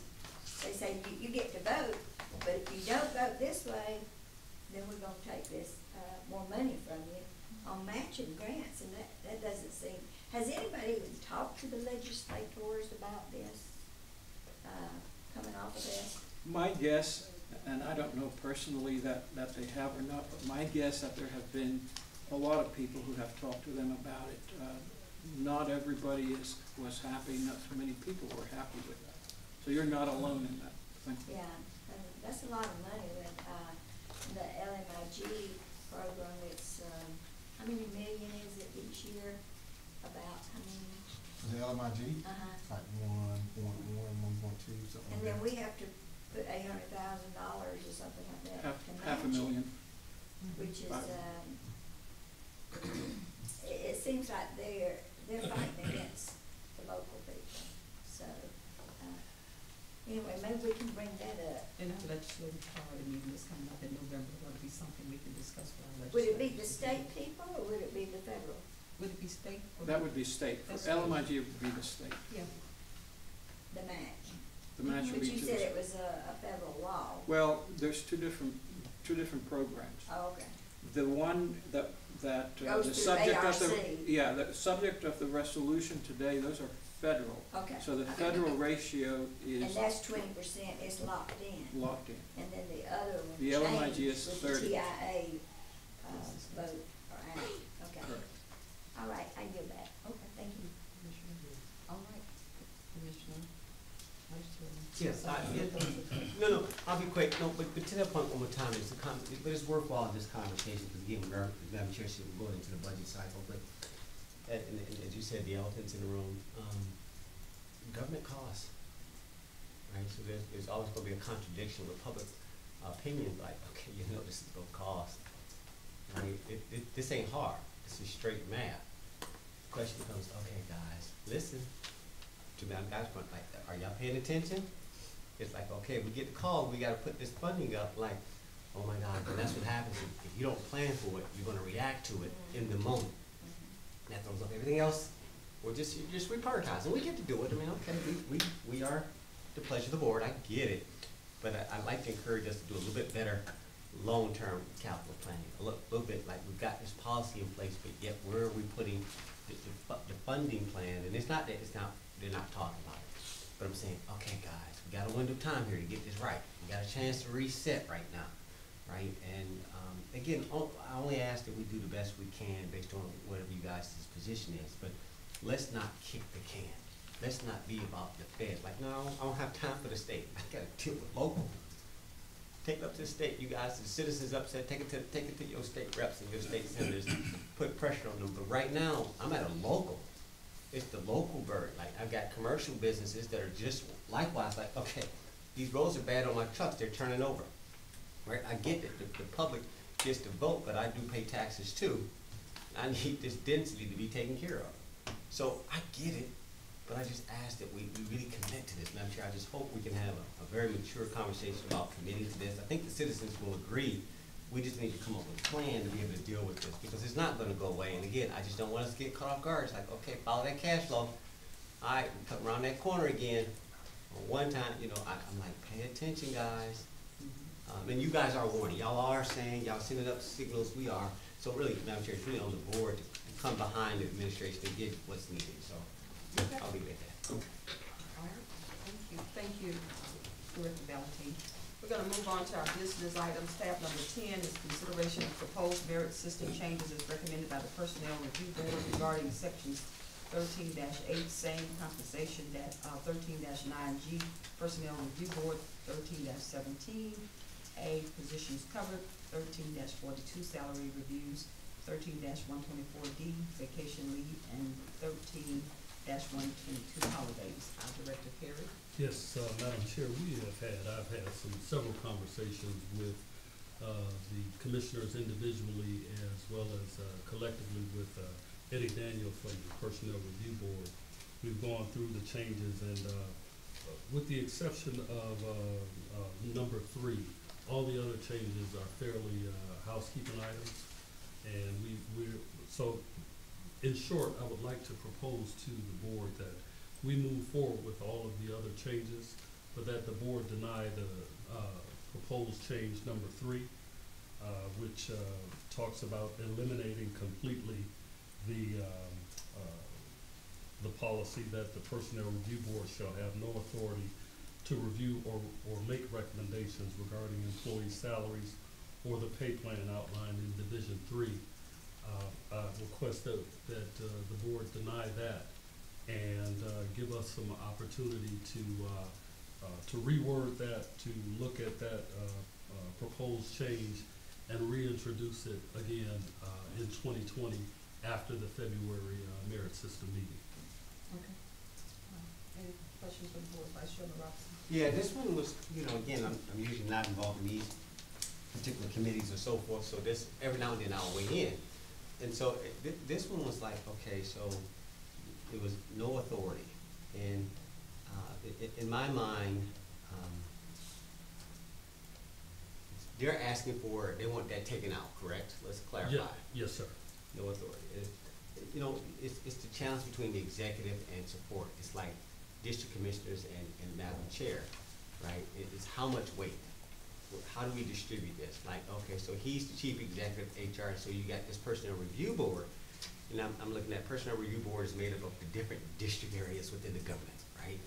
And they're coming together to make recommendations, but it's, it's, it's, it's just a check and balance. And it's something that historically has, has been there to, to supplement, um, and, and protect, uh, to a certain extent, that you don't concentrate too much power in one area, uh, with one, one person, but yet, always think, but you got the board of commissioners at the end of the day. So, um, I'm not certain, like, well, if it's worked so far up until this point, why are we changing that language? Just that part right here. Now, I'm okay with wordsmithing. I'm okay with it. I'm not, I'll let you guys wordsmith. But I, I'm listening to, it, it, it's usually about power, right? It's usually about who go, who gets to say what, and, and it's like, well, and, again, for the most part, our HR is pretty decentralized in certain functions, the way it operates, and, and centralized in sort of administration. In other words, you got these various areas with di- different chiefs and generals and, and, and different directors, as I call them. And so they, they pretty much run their own area, and that's why you have this review board, it's supposed to be supplement. So I, I, I get it. I'm like, okay, but what's motivating this change? Now, now, I was in the meeting, I was being brief, but it's like, what are y'all not saying? What's the issue here? Why did this come up that somebody sees something that, when you, usually when legislation shifts, that means somebody has brought something to somebody's attention that we need to, uh, enable something or prohibit something. And I, I'm, I'm putting it out here because obviously this is important, this, this requires our vote, so it's like, huh, I, and I, I told these guys I would just take it up later with my peers in, in a debate, because I'm, I'm curious to listen to what you guys have to say, what, what, what, why? So anyway, I yield. I'm good. Well, Madam Chair, I'd like, uh, Mr. to, Daniels, if you could just come forward and and just comment on, uh, Commissioner Robinson's question regarding why this change. I'll try to give a, a good answer on that, or an understandable answer. Uh, like we stated earlier, this has not been a real conflict yet, but it's just like in these proposal changes that we're looking at today.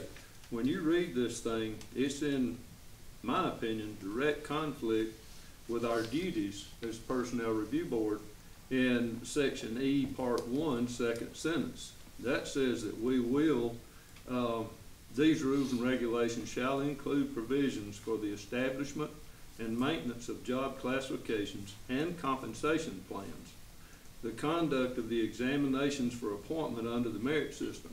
Okay, that's promotional. Now, it says very clearly here in part G, the Personnel Review Board shall have no authority to review or make recommendations regarding employee salaries or pay plans outlined in Division Three. In these proposals that we're presenting to you that came through our February meeting, uh, I was just sitting here reviewing over this. The very first one deals with compensation. It's doing away with compensation, but it deals with compensation. This part G says we can't even look at this, but yet we always have. Nobody said, hey, you can't do that, but this will save the county money, but this part G says we couldn't do that. And then the, uh, uh, fifth item, and it may be, may not be fifth on y'all's list, I'm not sure, this is fifth on the way we proposed it. It's, uh, section thirteen forty-two, salary reviews. Under the guidelines of this, if you take it to the letter, we can't address that either. So it's just, uh, it's conflicting. And if y'all ever called our hand and said, hey, you can't discuss that, well, in our duties, it says right here full well that that's one of our duties. So I was looking for clarification, and, and Mr. Perry and I are, we're in agreement to pull this so there can be some, uh, better wording, if you will, for next year instead of going on with it today, because he and I are still totally in disagreement. But we've agreed that let's move forward with the rest of these things. Because some of it is stuff that didn't get done last year that needs to be in our merit book. So, uh, we agreed a little bit ago to remove this one, work on the verbiage, and then bring it back in the February meeting. Does, does that help, Mr. Robinson? Ye- Yeah, I mean, and you do, and it, again, I, I, I trust my, my peers will weigh in, because this is about who has the greater say, the executive or the board. Well, it, in clarification on that, Mr. Commissioner, right on down in this paragraph, it says that we as Personnel Review Board recommend. It says that the Board of Commissioners may accept or reject any part or all of proposed amendments as submitted. So anything we send through Mr. Perry, the Board of Commissioners has final say. We only recommend. Well, which is my point, now, when we, we had our briefing, you know, I, I was aware of this, and I, I just wanted to bring it back up with my peers, it's not like a revelation in this moment. But I, I- when I heard it, it's like, okay, I'll deal with that later, because, but, but again, it is, and I, I think it's just giving assurance to our HR director that says, no, you're the executive. There's a process, I understand how sometimes this works, where, I mean, it's, it's who are you leaning to? It's like, well, you're making a recommendation to the HR director as a supplement as he comes before us, because he's working obviously with Mark and Madam Chair on ultimately all of this stuff, right? And, and so I, it's one of those where, mm-hmm, I, I, and I, I still come back to, it. it's just the language, um, going from no authority to some relative something.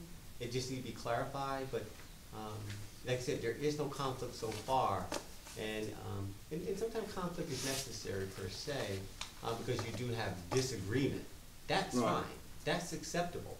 But the fact is, is that when you structurally trying to change something that gives you power, it's like, okay, let's look at this. I'm okay though, Madam Chair, I, I, I- I appreciate the fact that y'all gonna pull it, I think, I mean, our, we have attorney, we do have legal representation, but I, I just wanna get the language right, Madam Chair, now, but I can go either way. Okay, I get it. okay.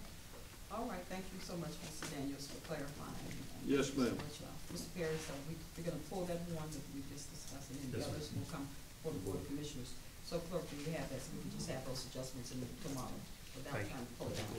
Okay, we'll move on to tab number tab number eleven, authorization to accept the twenty nineteen ACCG Group Health Benefits Program Health Promotion Grant in the amount of six thousand dollars and authorize the chairman to sign all related documents and amend the budget.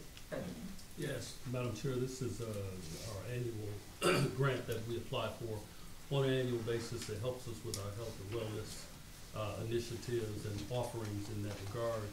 Uh, attended, uh, the meeting in Gainesville, uh, this past week.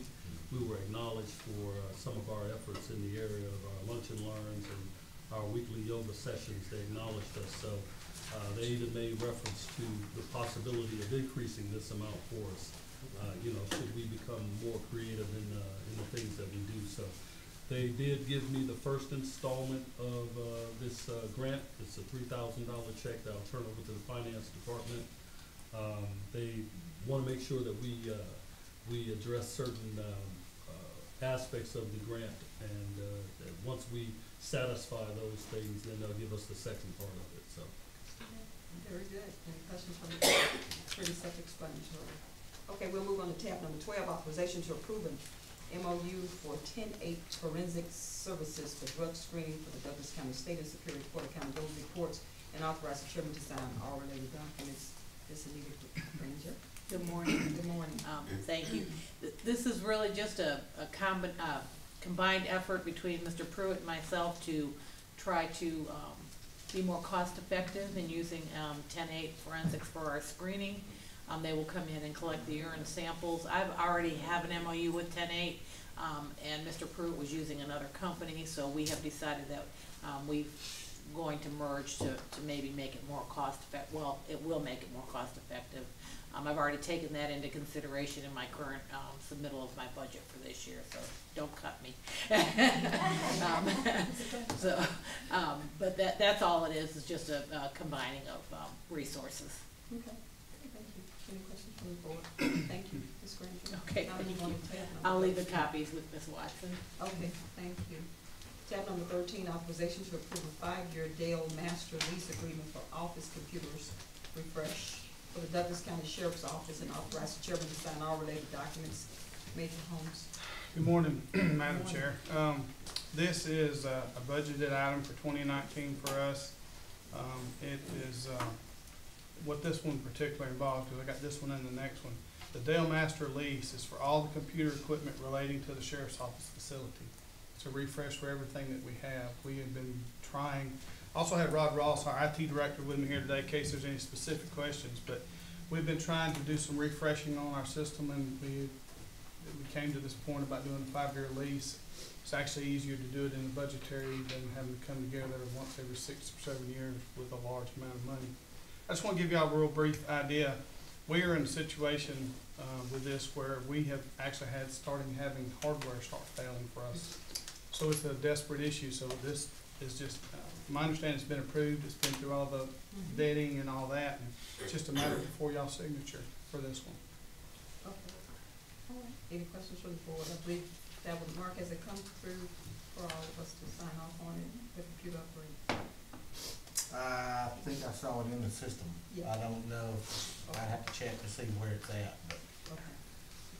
It's in, the process, and this was one that was approved for the twenty nineteen budget, so Yes. excited. And then also tab number fourteen, authorization to approve a four-year SunTrust master lease agreement for patrol cars, equipment refresh, and authorize the chairman to sign all related documents pending legal review. Uh, Mr. Holmes again. Same, same thing here, this is the one that's, this handles all of our sheriff's office mobile computers, which is the vehicles, as y'all would know. Um, and this one's for four years, same thing to do a total refresh in our system, because we have been having problems also, um, Okay. doing that. Let's hear for the commissioner. Rod, Rod, is Rod, Rod Ross is here also for that one too. if you could come up, Rod, please. Rod. Come on, You to the could podium. come to the podium. Yes, Rod, just if you could just talk about your computer, I mean, if it's not some confidential information about a computer. How long has it been since we've upgraded? I know we've been on wing of prayer, and we're so glad that we were able to get this done last year. In computer terms, we're ancient right now. Okay, Um, okay. Some of our, our data center equipment that's running our servers and stuff came over from the old jail, if that's any indication. Uh, We're hurting there. The patrol car equipment was refreshed right before we moved into the old jail, so it's running on eight years now. So our public safety is running on eight-year-old computers. Okay. So I know you're really excited about this new upgrade and. Yes, refresh and ma'am, we. Okay. we, we can't wait. I believe Commissioner Guy has a question for you, Rod. Yes, uh, I believe, and I was confirmed with Commissioner Mitchell, that here in the courthouse, we renew, we refresh every three years. Is that Mhm. not? So, uh, is it five? Okay. I was thinking three, I and think he, it's five. he thought it was three to five or so. Okay, uh, but, um, is that fast enough every five years? Because technology is changing so fast now. Yes, ma'am. We're doing five years in all the office, uh, all the sheriff's office facility and the database, or, uh, the data center. And we're doing four years on the patrol cars, because we do wanna keep newer, better equipment in the patrol cars as we can. Now, you have a mainframe of your own Yes, and everything, so where do you stand on that? Because That is included in this refresh. This is part of the refresh, uh, is this just software refresh or? No, this is hardware, uh, hardware and software essentially. Okay. Yeah. Thank You, you. Vice Chairman Robinson? Yeah, a- again, I'm, I'm, I'm all for, um, putting funding behind, um, things that could be preventative, um, and, and public safety and stuff, so I, I'm thinking, okay, so sixteen million dollars for a communication tower, or towers in the system.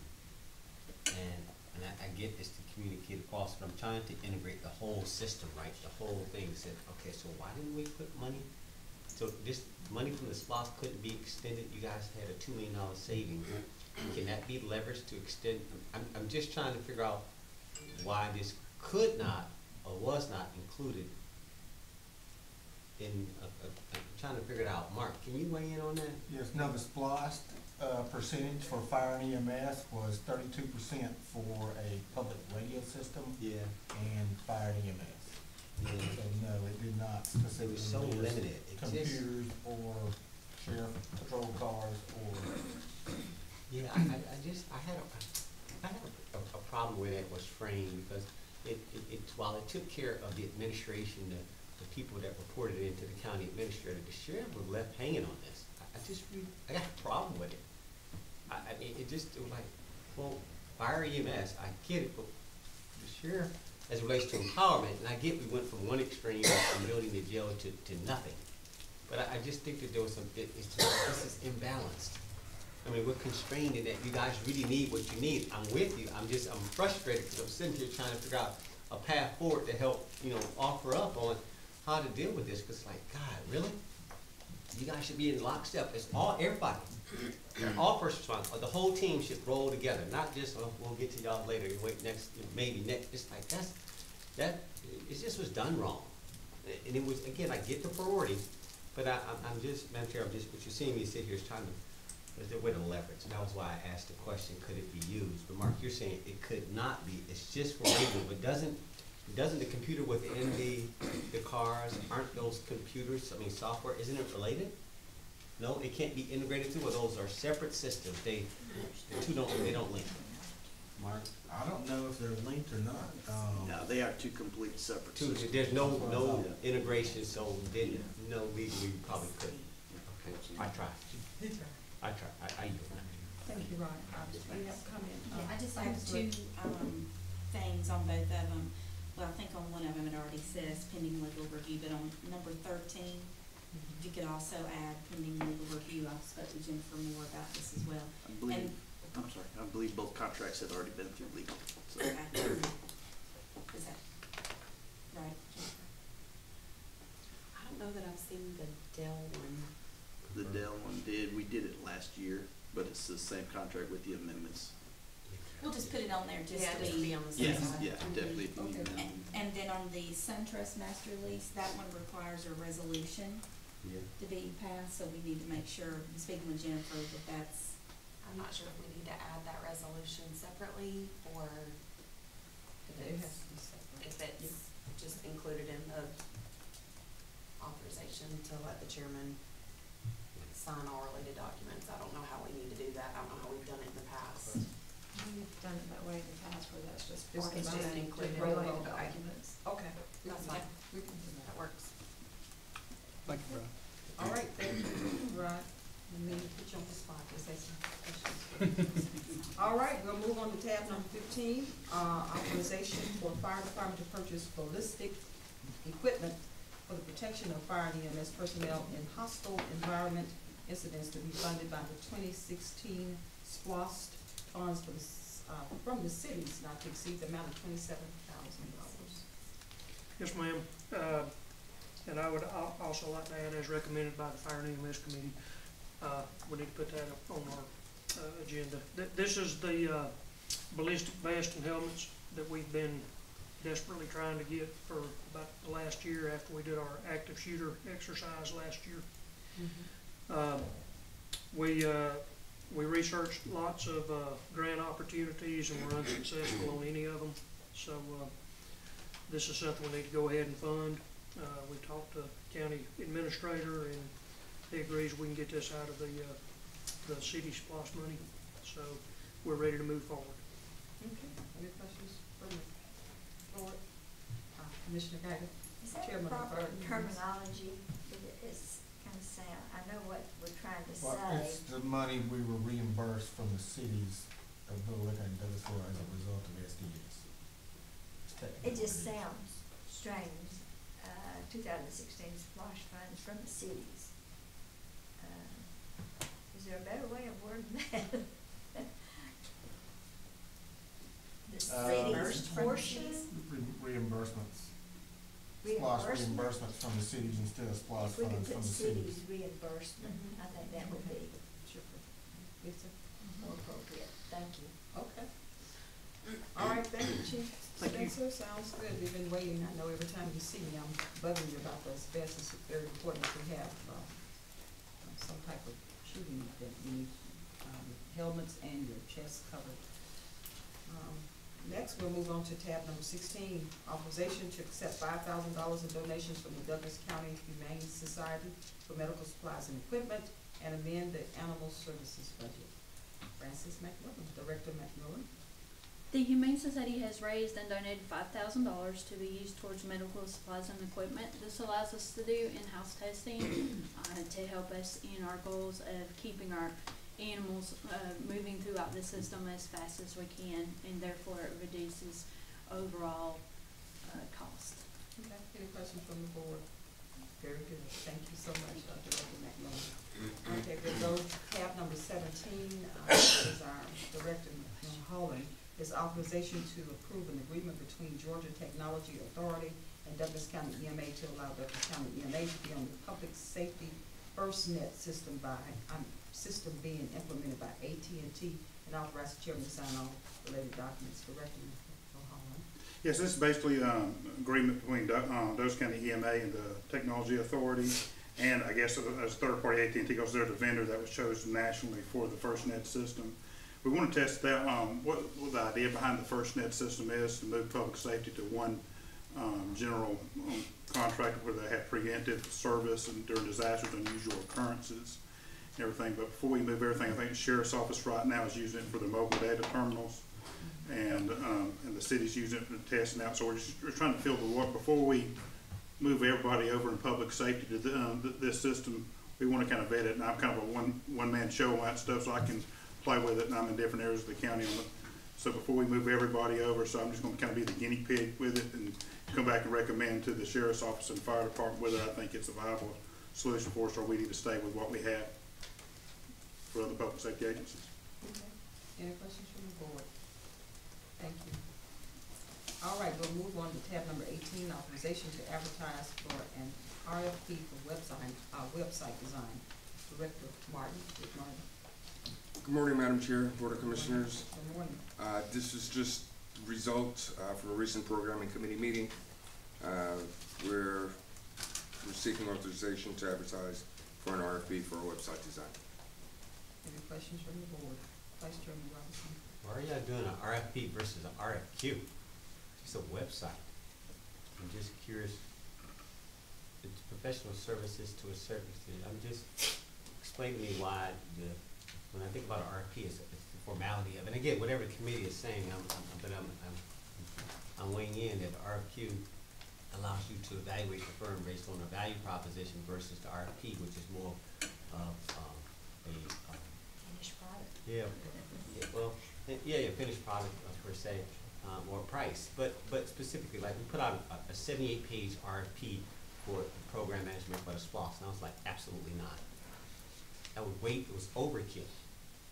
So, um, I mean, it's just a website overhaul, right? We spent four million on program oversight, and that was an RFQ.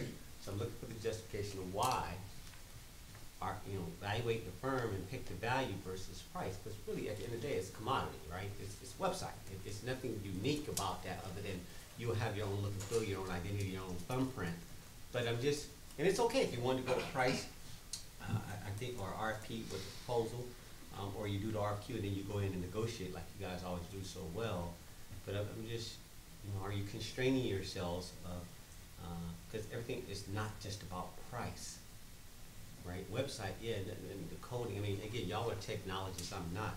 Like, people work around price, especially with technology. It, it really should be the value exchange, um, in that selection. I, I just was curious. I yield. We can do it either way. Both, with both of them, you look at their credentials and their qualifications, Right. we can definitely change it to an RFQ. Reason we put RFP was simply because we had a hundred twenty-five thousand budget, um, but we can do it either way. Just what he said. Commissioner Carthen has it. So, so the, the, uh, process will be an RFQ because we already have one in the purchasing department to use, and it is an RFQ. So to your point, it is an RFQ, we won't be doing an RFP, and, uh, so that was just probably a, a typo, but it is an RFQ, we already have that on site, and that should be going out, and, uh, purchasing director, uh, Bill Peacock did specify that it would not be a problem since we already have one on, on file. Thank you.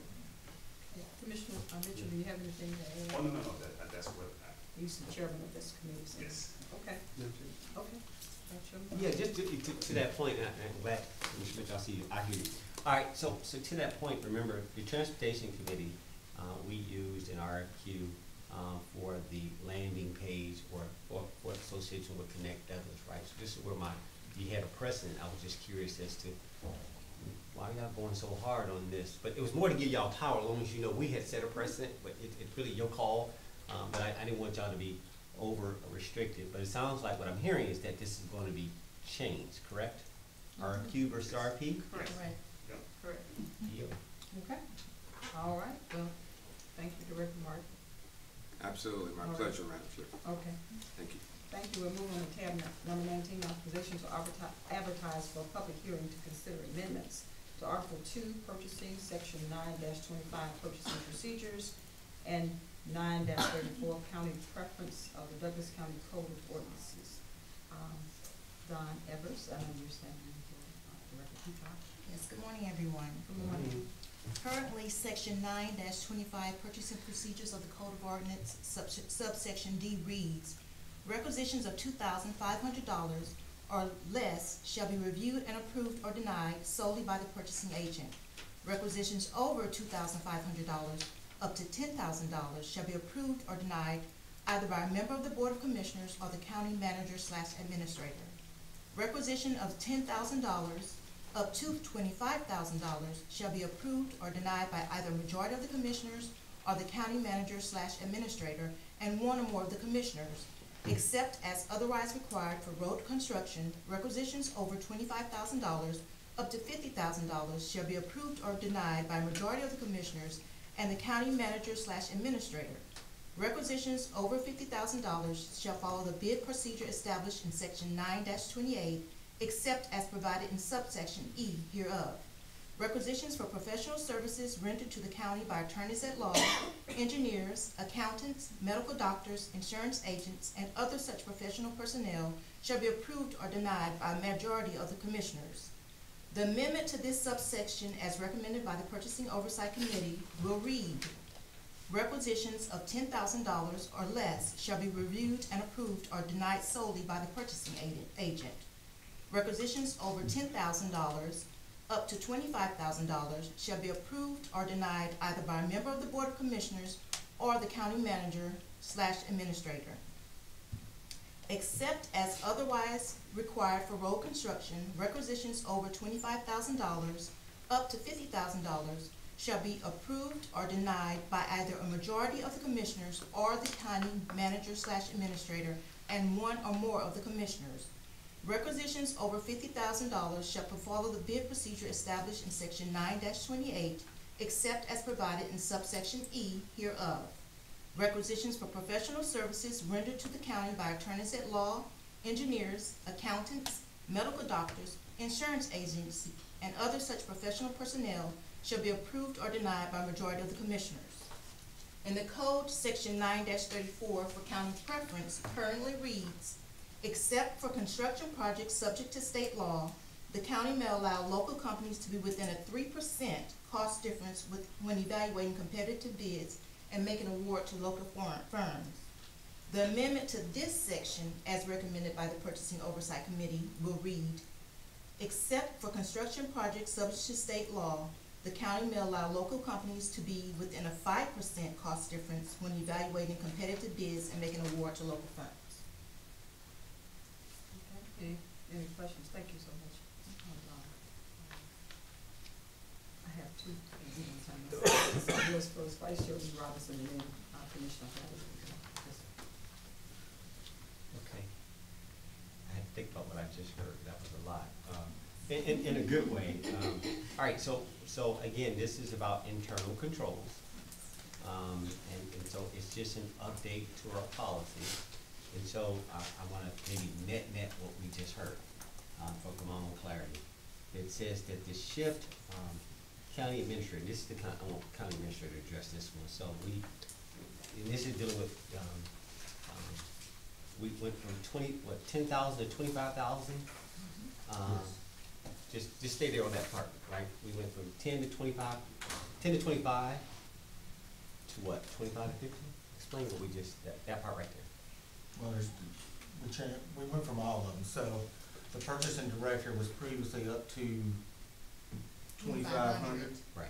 and we're taking that to Ten thousand. ten thousand. All right, stay there, no, that's, that- that's the first one. Then- County administrator before was twenty-five hundred to ten thousand, so we're proposing for it to be, and recommended by the, uh, purchasing oversight committee, go from twenty-five hundred to ten thousand to ten thousand to twenty-five thousand. Right, so you're ten to twenty-five. That gap bumped up, right. and then, uh, the county administrator and or, I think, three commissioners or, three commissioners or county administrator and one commissioner, which is mostly the chairman, because the chairman's here full-time, um, would be from, it goes from ten to twenty-five thousand, and the recommended change is twenty-five thousand to fifty.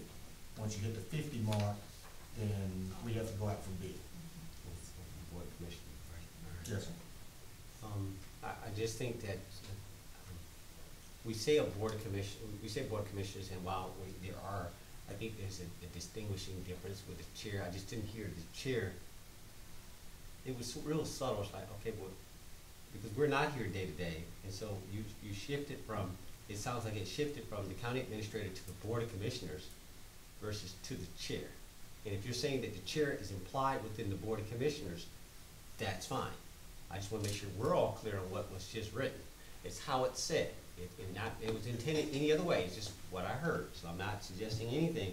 I just wanna make sure that it- all hearts and minds are clear, um, um, because sometimes acknowledgement is important, right? And, and shifting this is a very subtle, that the board of commissioners, yes, while the chair is implying that, has a, in a day-to-day, to your point, a day-to-day executive role that is distinct from us as district. And so, uh, it's real subtle, it's just how that word, it struck me, I'm not going anywhere with it, that was the first one.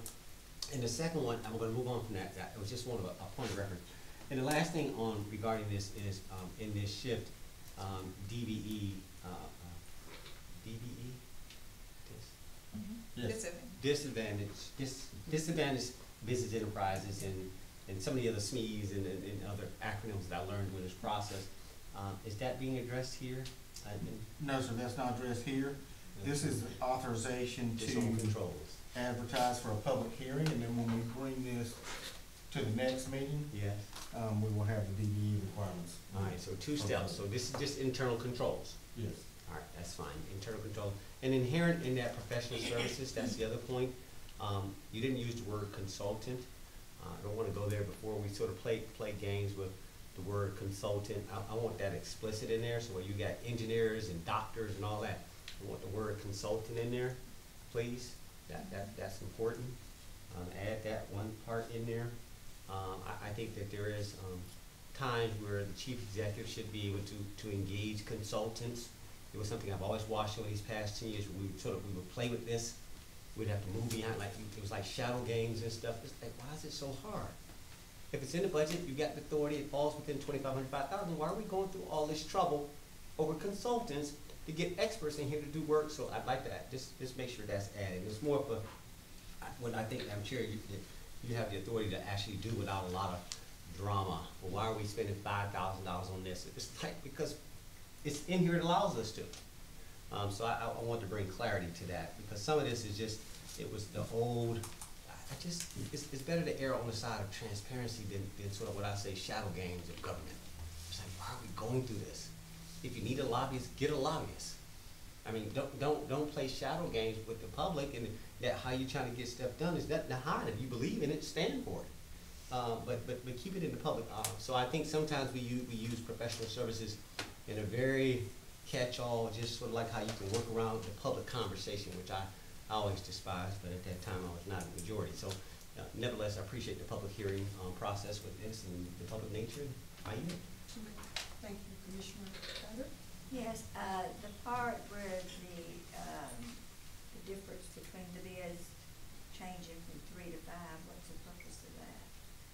Well, the history of success on the three percent preference is not relevant, as three percent is the minimum.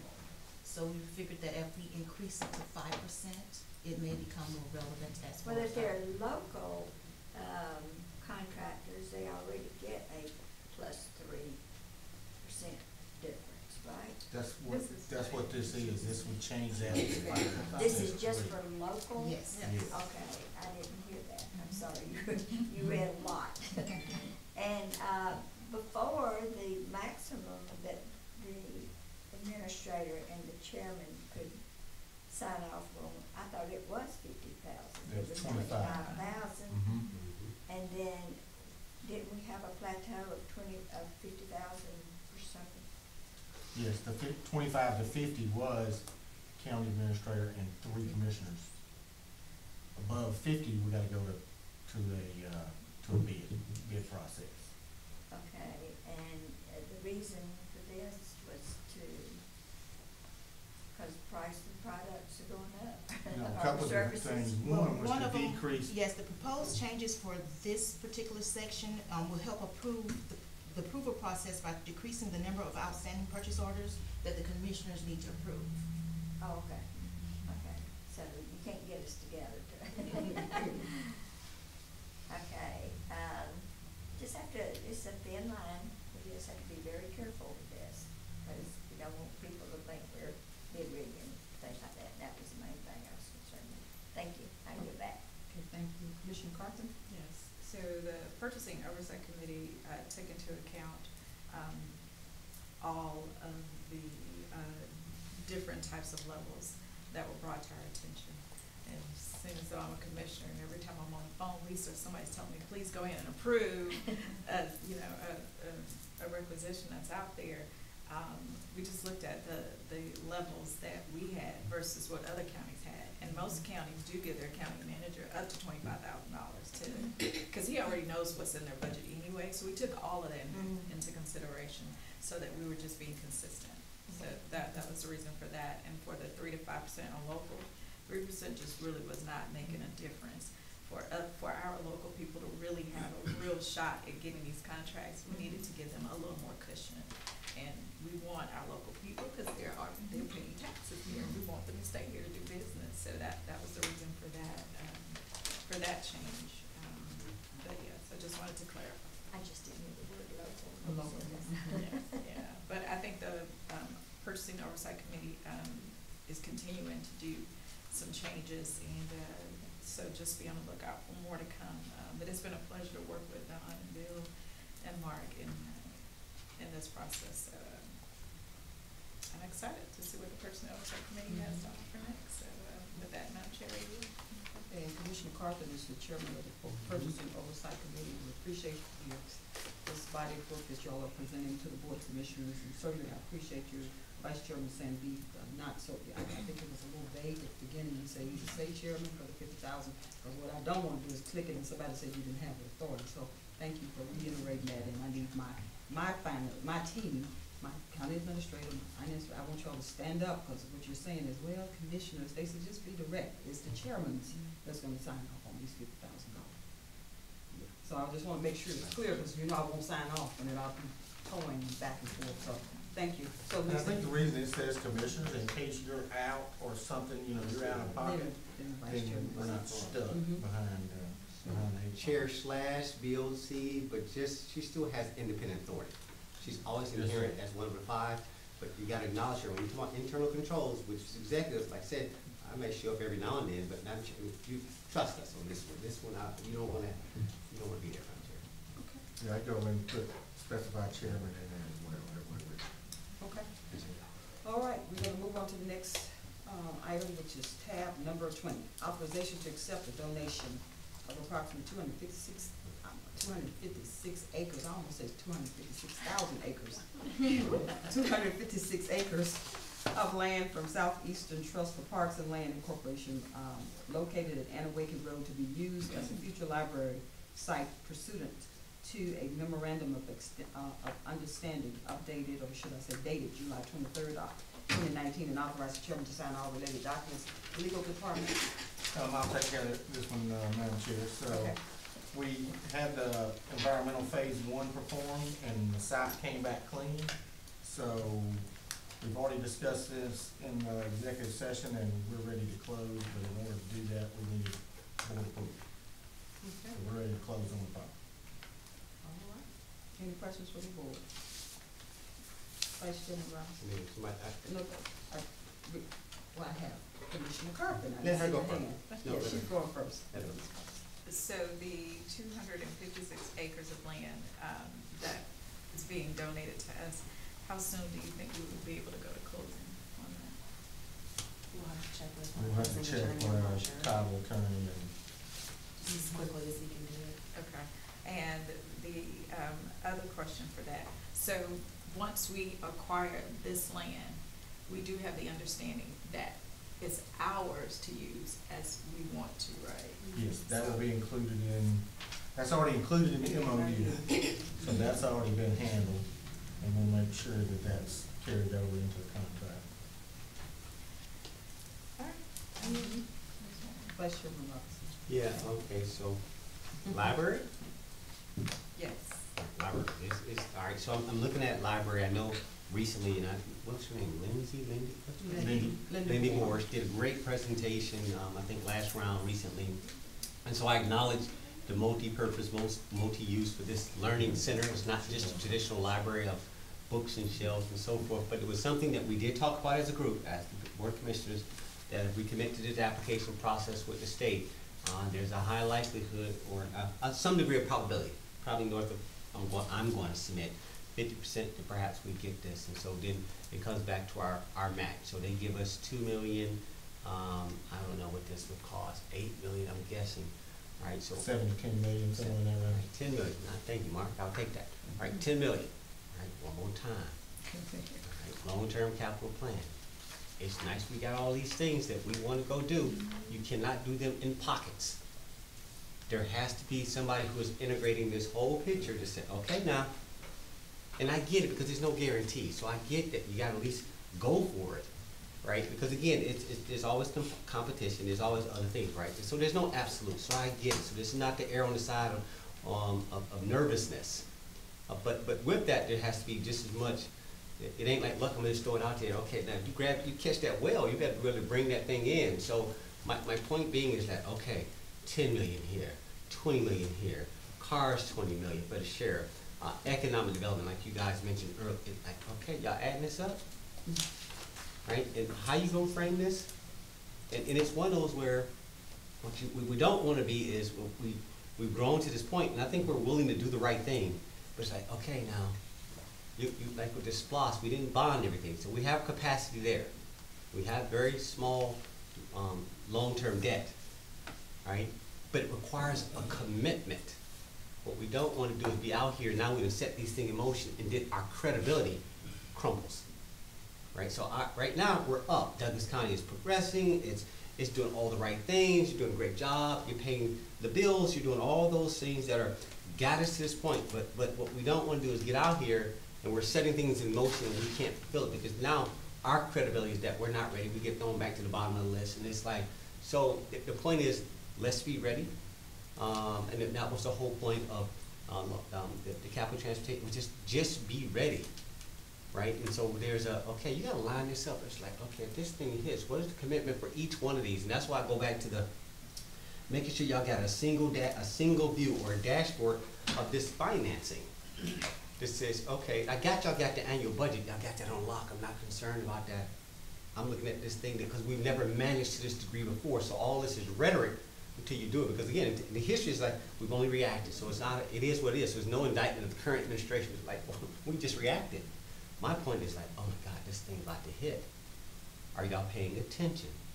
I'm good, it's just, all right, it's gonna be 50 million, 60 million, right? Everybody's gotta see themselves in this to make a vote, right? And, and so, uh, again, I appreciate the maturity of the conversation. Um, either we, we, we make a decision independently, we go in debt without a vote, or you put on a referendum. It, these are not, you know, cloak and dagger. These are options that are public, like, okay, quit running from this. Not, not anybody, but I'm just saying, you can't run from it. I'm talking rhetorically. Don't run from tough decisions. We know the citizens are putting pressure to say, well, what about us? And, okay, now they want us to catch up speed. It's like, okay, to go faster, it's gonna cost more. It's going to cost more. Or like, well, Madam Chair, you can spread this out over forty years and half million per year, you can do it that way, right? We can save hundred thousand dollars or a million dollars per year for the next thirty years, y'all, good luck. But, but I, I, my point is, let's just be honest about it and do the best we can with what we got. Um, I, I think, uh, the public is willing to work with us per se, um, in accomplishing, uh, priorities in which we all, five of us can weigh in on, I think it's important. But, but knowing what, what you don't wanna do is make those promises, they say, they come up with these pretty pictures, and you, you're, you're just wagging in front of people, and you're just incenting them while you're still spending day to day. You're still taking care of the thousand people day to day. But yet the public like, well, what are we getting out of you taxing us? I, I, are, are my roads being paid? Are, are my parks being cleaned up? Are, I, I mean, what am I getting? But yet, you, you guys, again, one more time, the thousand people are getting their pensions taken care of. They- They're all comfortable, but what about us hundred thousand people that are out here?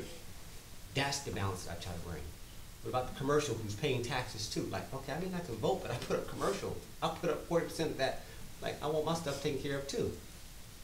Right? So it's, it's something to think about. It's a good problem to have, um, as, a- as a group, guys. You know this is a good problem to have. Before, we didn't really have this option. It's whatever what came along, but now we're a little bit more in a different place.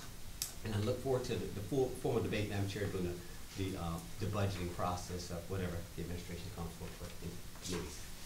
Okay, I just wanted to add to what you said, I believe, uh, and I can certainly can't speak on uh, behalf of Commissioner Carpenter, but I believe she just simply casting, casting the vision. Uh, certainly, I want this administration to think big, and we should. Uh, you've already applied for a grant that's out there potentially for two million dollars, that hopefully will come, but I understand that's a three-year process. Again, we don't wanna, I, I don't want us to think, uh, like we did many years ago, that you can certainly put a SPLOST on the, on the uh, referendum and then it passed one time and you go ten years without another. That's just not the new, uh, way to do things. Most counties, uh, they buy into sophistication of SPLOST and that's just important. That's the only way we're gonna be able to get there is we contr- continue. So as I've mentioned on numerous occasions, occasions, we need to prepare for another SPLOST going into the twenty twenty-three or whatever year, and I'm hoping the citizens will hear the cry. I think they're excited about all the things that are coming down the pike, and it's gonna require some help to get there, so I- I'm just hoping that we will align with other counties in the state of Georgia and, and and endorse a SPLOST, just going forward, just give it, just rolling SPLOST forever to, to, to be, do what we need to do in this county. So, anyway, we'll move on to the next item, and the next item is, is tab number twenty-one, authorization to approve the amended purchasing card and credit card policy, uh, purchasing card and our credit card user agreement and the Douglas County travel policy and procedures manual. Uh, legal? Um, I'll have, handle this one as well, Madam Chair. Um, so you had asked, uh, county attorney to review the, uh, credit card policy and the credit card user agreement. Um, so the changes resulting from that. So as far as under unauthorized purchases, um, so we added, our county attorney added the following, so county purchasing cards and credit cards shall not be used for the purchase of items of personal use. Um, essentially, the first part of the, every, every one of these are the same. So, but I'm just gonna list the, uh, the products or the uses, so, uh, personal use, refunds or advances, um, any items specifically restricted by this policy unless an exemption is granted by the Board of Commissioners. Um, alcohol, no alcohol or alcohol-related products, no tobacco or tobacco-related products, no electronic cigarettes or electronic cigarette-related products or other similar items. And, and the following items were already included, uh, county purchasing cards and credit cards shall not be used to avoid compliance with the county's purchasing policies and procedures, to purchase goods and services that are not approved in the county budget, purchase good, goods and services exceeding the per transaction or per, per month limit, uh, purchases not in compliance with the county purchasing card and credit card user agreement, and anything that's in violation of Georgia law. So this is, there's some other, uh, housekeeping items that are associated as far as definitions.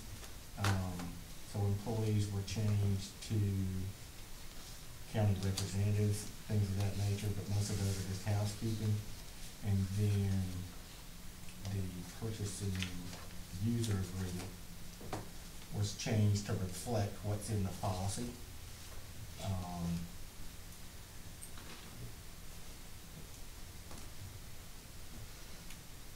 and then, I think that, that essentially just met what was in the purchasing policy. And then also is the travel policy, uh, procedures. Let me get to that, I've got that on the page. Um,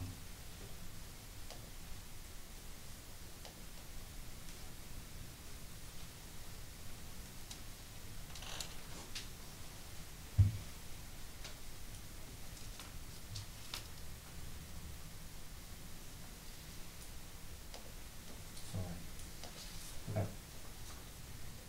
So the uh, travel policy and procedures manual, um, this was twofold process. You had the county attorney working on certain sections and then, uh, staff worked on other sections that we brought through to the, uh, finance committee and had a recommendation, uh, to move forward there.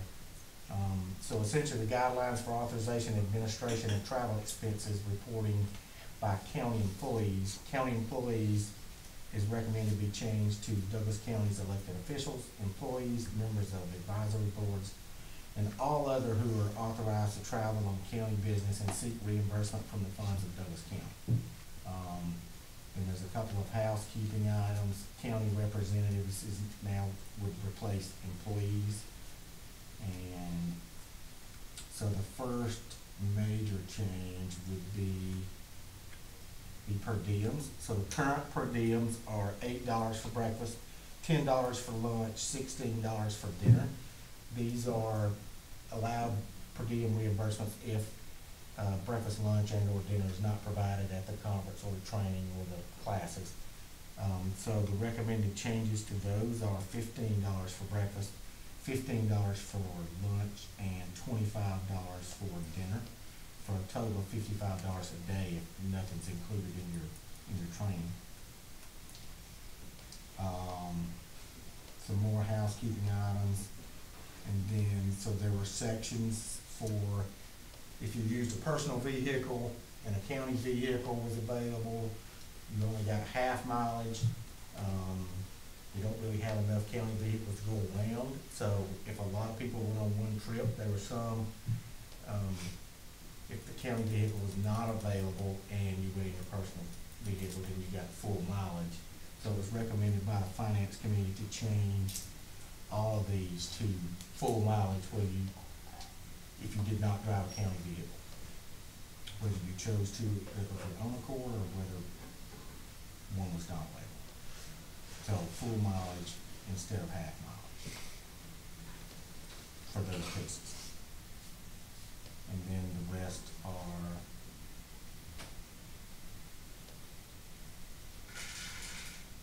the next major change would be so as far as non-allowable expenses for travel and training would be, in addition to items that were already included in here, uh, expenses of family members, uh, alcohol or alcohol-related products, tobacco or tobacco-related products, electronic cigarettes or electronic cigarette-related products, or other similar items.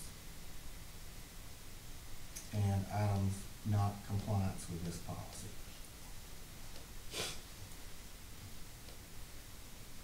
And essentially, I think that's it besides the, the housekeeping items. Okay, any Well, the questions three- from the board? Vice Chairman? Yeah, th- thank you, Madam Chair. This is something we talked about last time. Uh, we just sort of, um, we, we all sort of acknowledged, we'll make sure we clarify. Um, you know, over the past, again, ten years, I've watched, um, and, and again, while we were in a different place as relates to training and so forth. Um, remember, the administration took back training and kept it concentrated and we were going through that recession, but now there's sort of a, a, a, a revisitation of certain things that really, it, it wasn't necessary at the time. So I appreciate the willingness of the administration to take this up.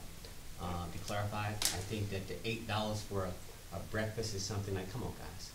I mean, four dollars and fifty cents for coffee. And it's something that just, you, you have to bring, bring things up to terms. Now, let's not, there is a financial impact to this, but it's the cost of life. Things inflate, right? So I, I think, what I don't like to do is not to hide, like, no, be honest with the public. There is like, okay, what we just said was that things are gonna be a little bit more expensive, but they're, they're behind. You know, at some point, you know, you have to bring things up to, to par. It's like, okay, we gave you a raise ten years ago, you should be, you know, no, keep it, keep it up. Don't, don't, don't do that, cause at some point, you're gonna have to catch up, and now you got this big giant spike, is what we call the balloon in, in the finance industry. You know, okay, you can keep it down at that interest only, and at some point, that thing's gonna pop on you. But if you actually manage this and amortize it over time, if you just acknowledge the fact of keeping up with the cost, I mean, just like the, the standard of living, of, you know, um, associated with the feds is what, one point five percent, one point seven two, whatever the number is we use as, as sort of a marker, it's acknowledged. The cost of inflation, it's acknowledged, the standard of living, it's acknowledged, and so I, I think what we're trying to do, and, and Madam Chair, this was good, Mark, you guys did a great job, house clean, closing certain loopholes that were inconsistent between the different policies and stuff, so I know it was three or four policies coming in together, but y'all guys did a good job of getting your minds around it and bringing it to the forefront, not only on the behavioral part, but the financial part. I yield. Thank you. Okay, and also, uh, Mark, if you could just mention what stan, what, I guess, industry or standard we use to change the, you know, to make those recommendations about the, the different Oh, cost per of diem? Yeah. Yeah, I think it was it, the, did we use the, uh, this, the, the It the federal, federal. the federal, government is what they provide for their employees in terms of the travel, for breakfast, lunch, and dinner. Yep. And then also, um, that you're just, your just for-profit and non-for-profit organizations. And I was just telling my, my experience, it was twenty-five dollars for breakfast, twenty-five dollars for lunch, and twenty-five dollars for dinner, which is seventy-five dollars, which we're keeping ours, ours at fifty-five, which is, which is aligning with the federal. That's just our recommendation. Because uh, when our staff go to places like Arizona and California and have breakfast for eight dollars, that's not gonna do anything again, like you said, coffee's four fifty. Uh, five dollars, eight dollars is just not enough, and I've had several complain, civil, uh, employees complain, we just talk about that, insufficient money for their breakfast or lunch, and I said, we'll, we'll see what we can do to bring it to the board of commissioners. Any other questions? All right, we, have one last item, which is tab two. I'm sorry. Number twenty-two, authorization to approve the Douglas County Board Appointment Policy. Uh, our clerk, Lisa Watson. Just, um, pretty much puts in writing our process for making board appointments in the community. And I believe Commissioner Mitchell requested that, so Mhm. we'll have it. Commissioner Mitchell, okay, all right, so, you'll, we'll, we will approve accordingly tomorrow. Um, twenty-three, authorization to renew the agreement with the civic clerk, uh, for the automated agenda system for an annual cost of eleven thousand nine hundred eighty-four dollars and authorize the chairman to sign all related documents. Clerk Watson. Yes, ma'am, this is just renewing the agreement we have now with Civic Clerk on our automated agenda system as well as the voting um, the price did increase a little, um, but there, we've never had a price increase other than when we've added, um, different functions. And, um, so this would, and we've had this system since like two thousand twelve. Um, and they're continually, um, providing enhancements to that system. They have virtual, virtual training, videos, and webinars that they continuously provide. Um, Lisa, did the addition of the, um, I guess the automated voting, that put a little pressure on the two, right? Because we vote now electronically. Okay. Uh, Commissioner Just one question, do they do the minutes also? Um, I just have a little problem that it takes so long for them to get minutes out. Well, they don't particularly do the minutes. I do those minutes and I put them on the But website. it, even after you upload them, doesn't it take a long time? I, I've often looked for some minutes and couldn't find. You're thinking of Municode. Okay, that's what I was saying, mm-hmm. is this the minute, can you see it? Well, this has a way in the system to provide a way to do the minutes. They electronically do the minutes for you, but it's still me that has to, um, upload the minutes to Municode. So it's Municode that causes the delay. Well, sometimes it was my fault. But it's, it's caught up now. Okay, yeah. Thank you, I hear that. Okay. Commissioner Robinson. Yeah, I, all right, so this is just the, the base foundation that you've always had since we, we, we've been here, so I, I get that.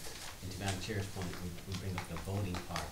Um, so, well, my question was going, was, okay, it's going up in cost.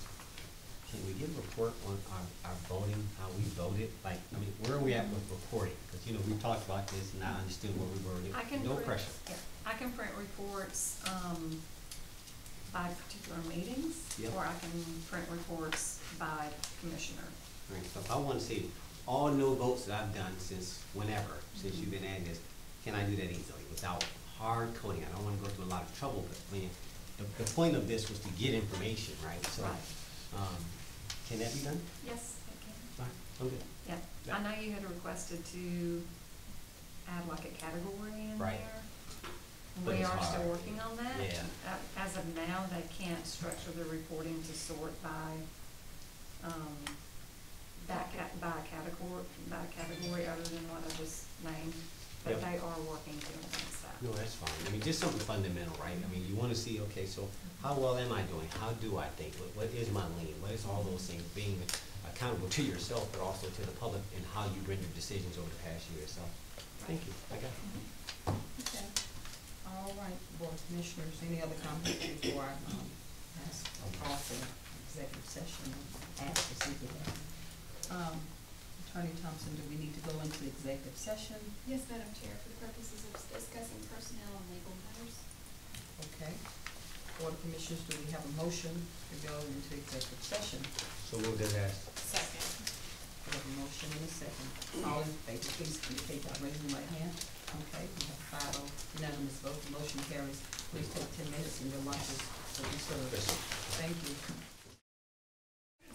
Okay, Board of Commissioners, we had an extremely productive meeting today, so tomorrow we will, Thank you. um, um, prepare for our work, uh, Board of Commissioners meeting tomorrow, so look forward to our meeting. If there are no other questions or comments at this time, this meeting is adjourned.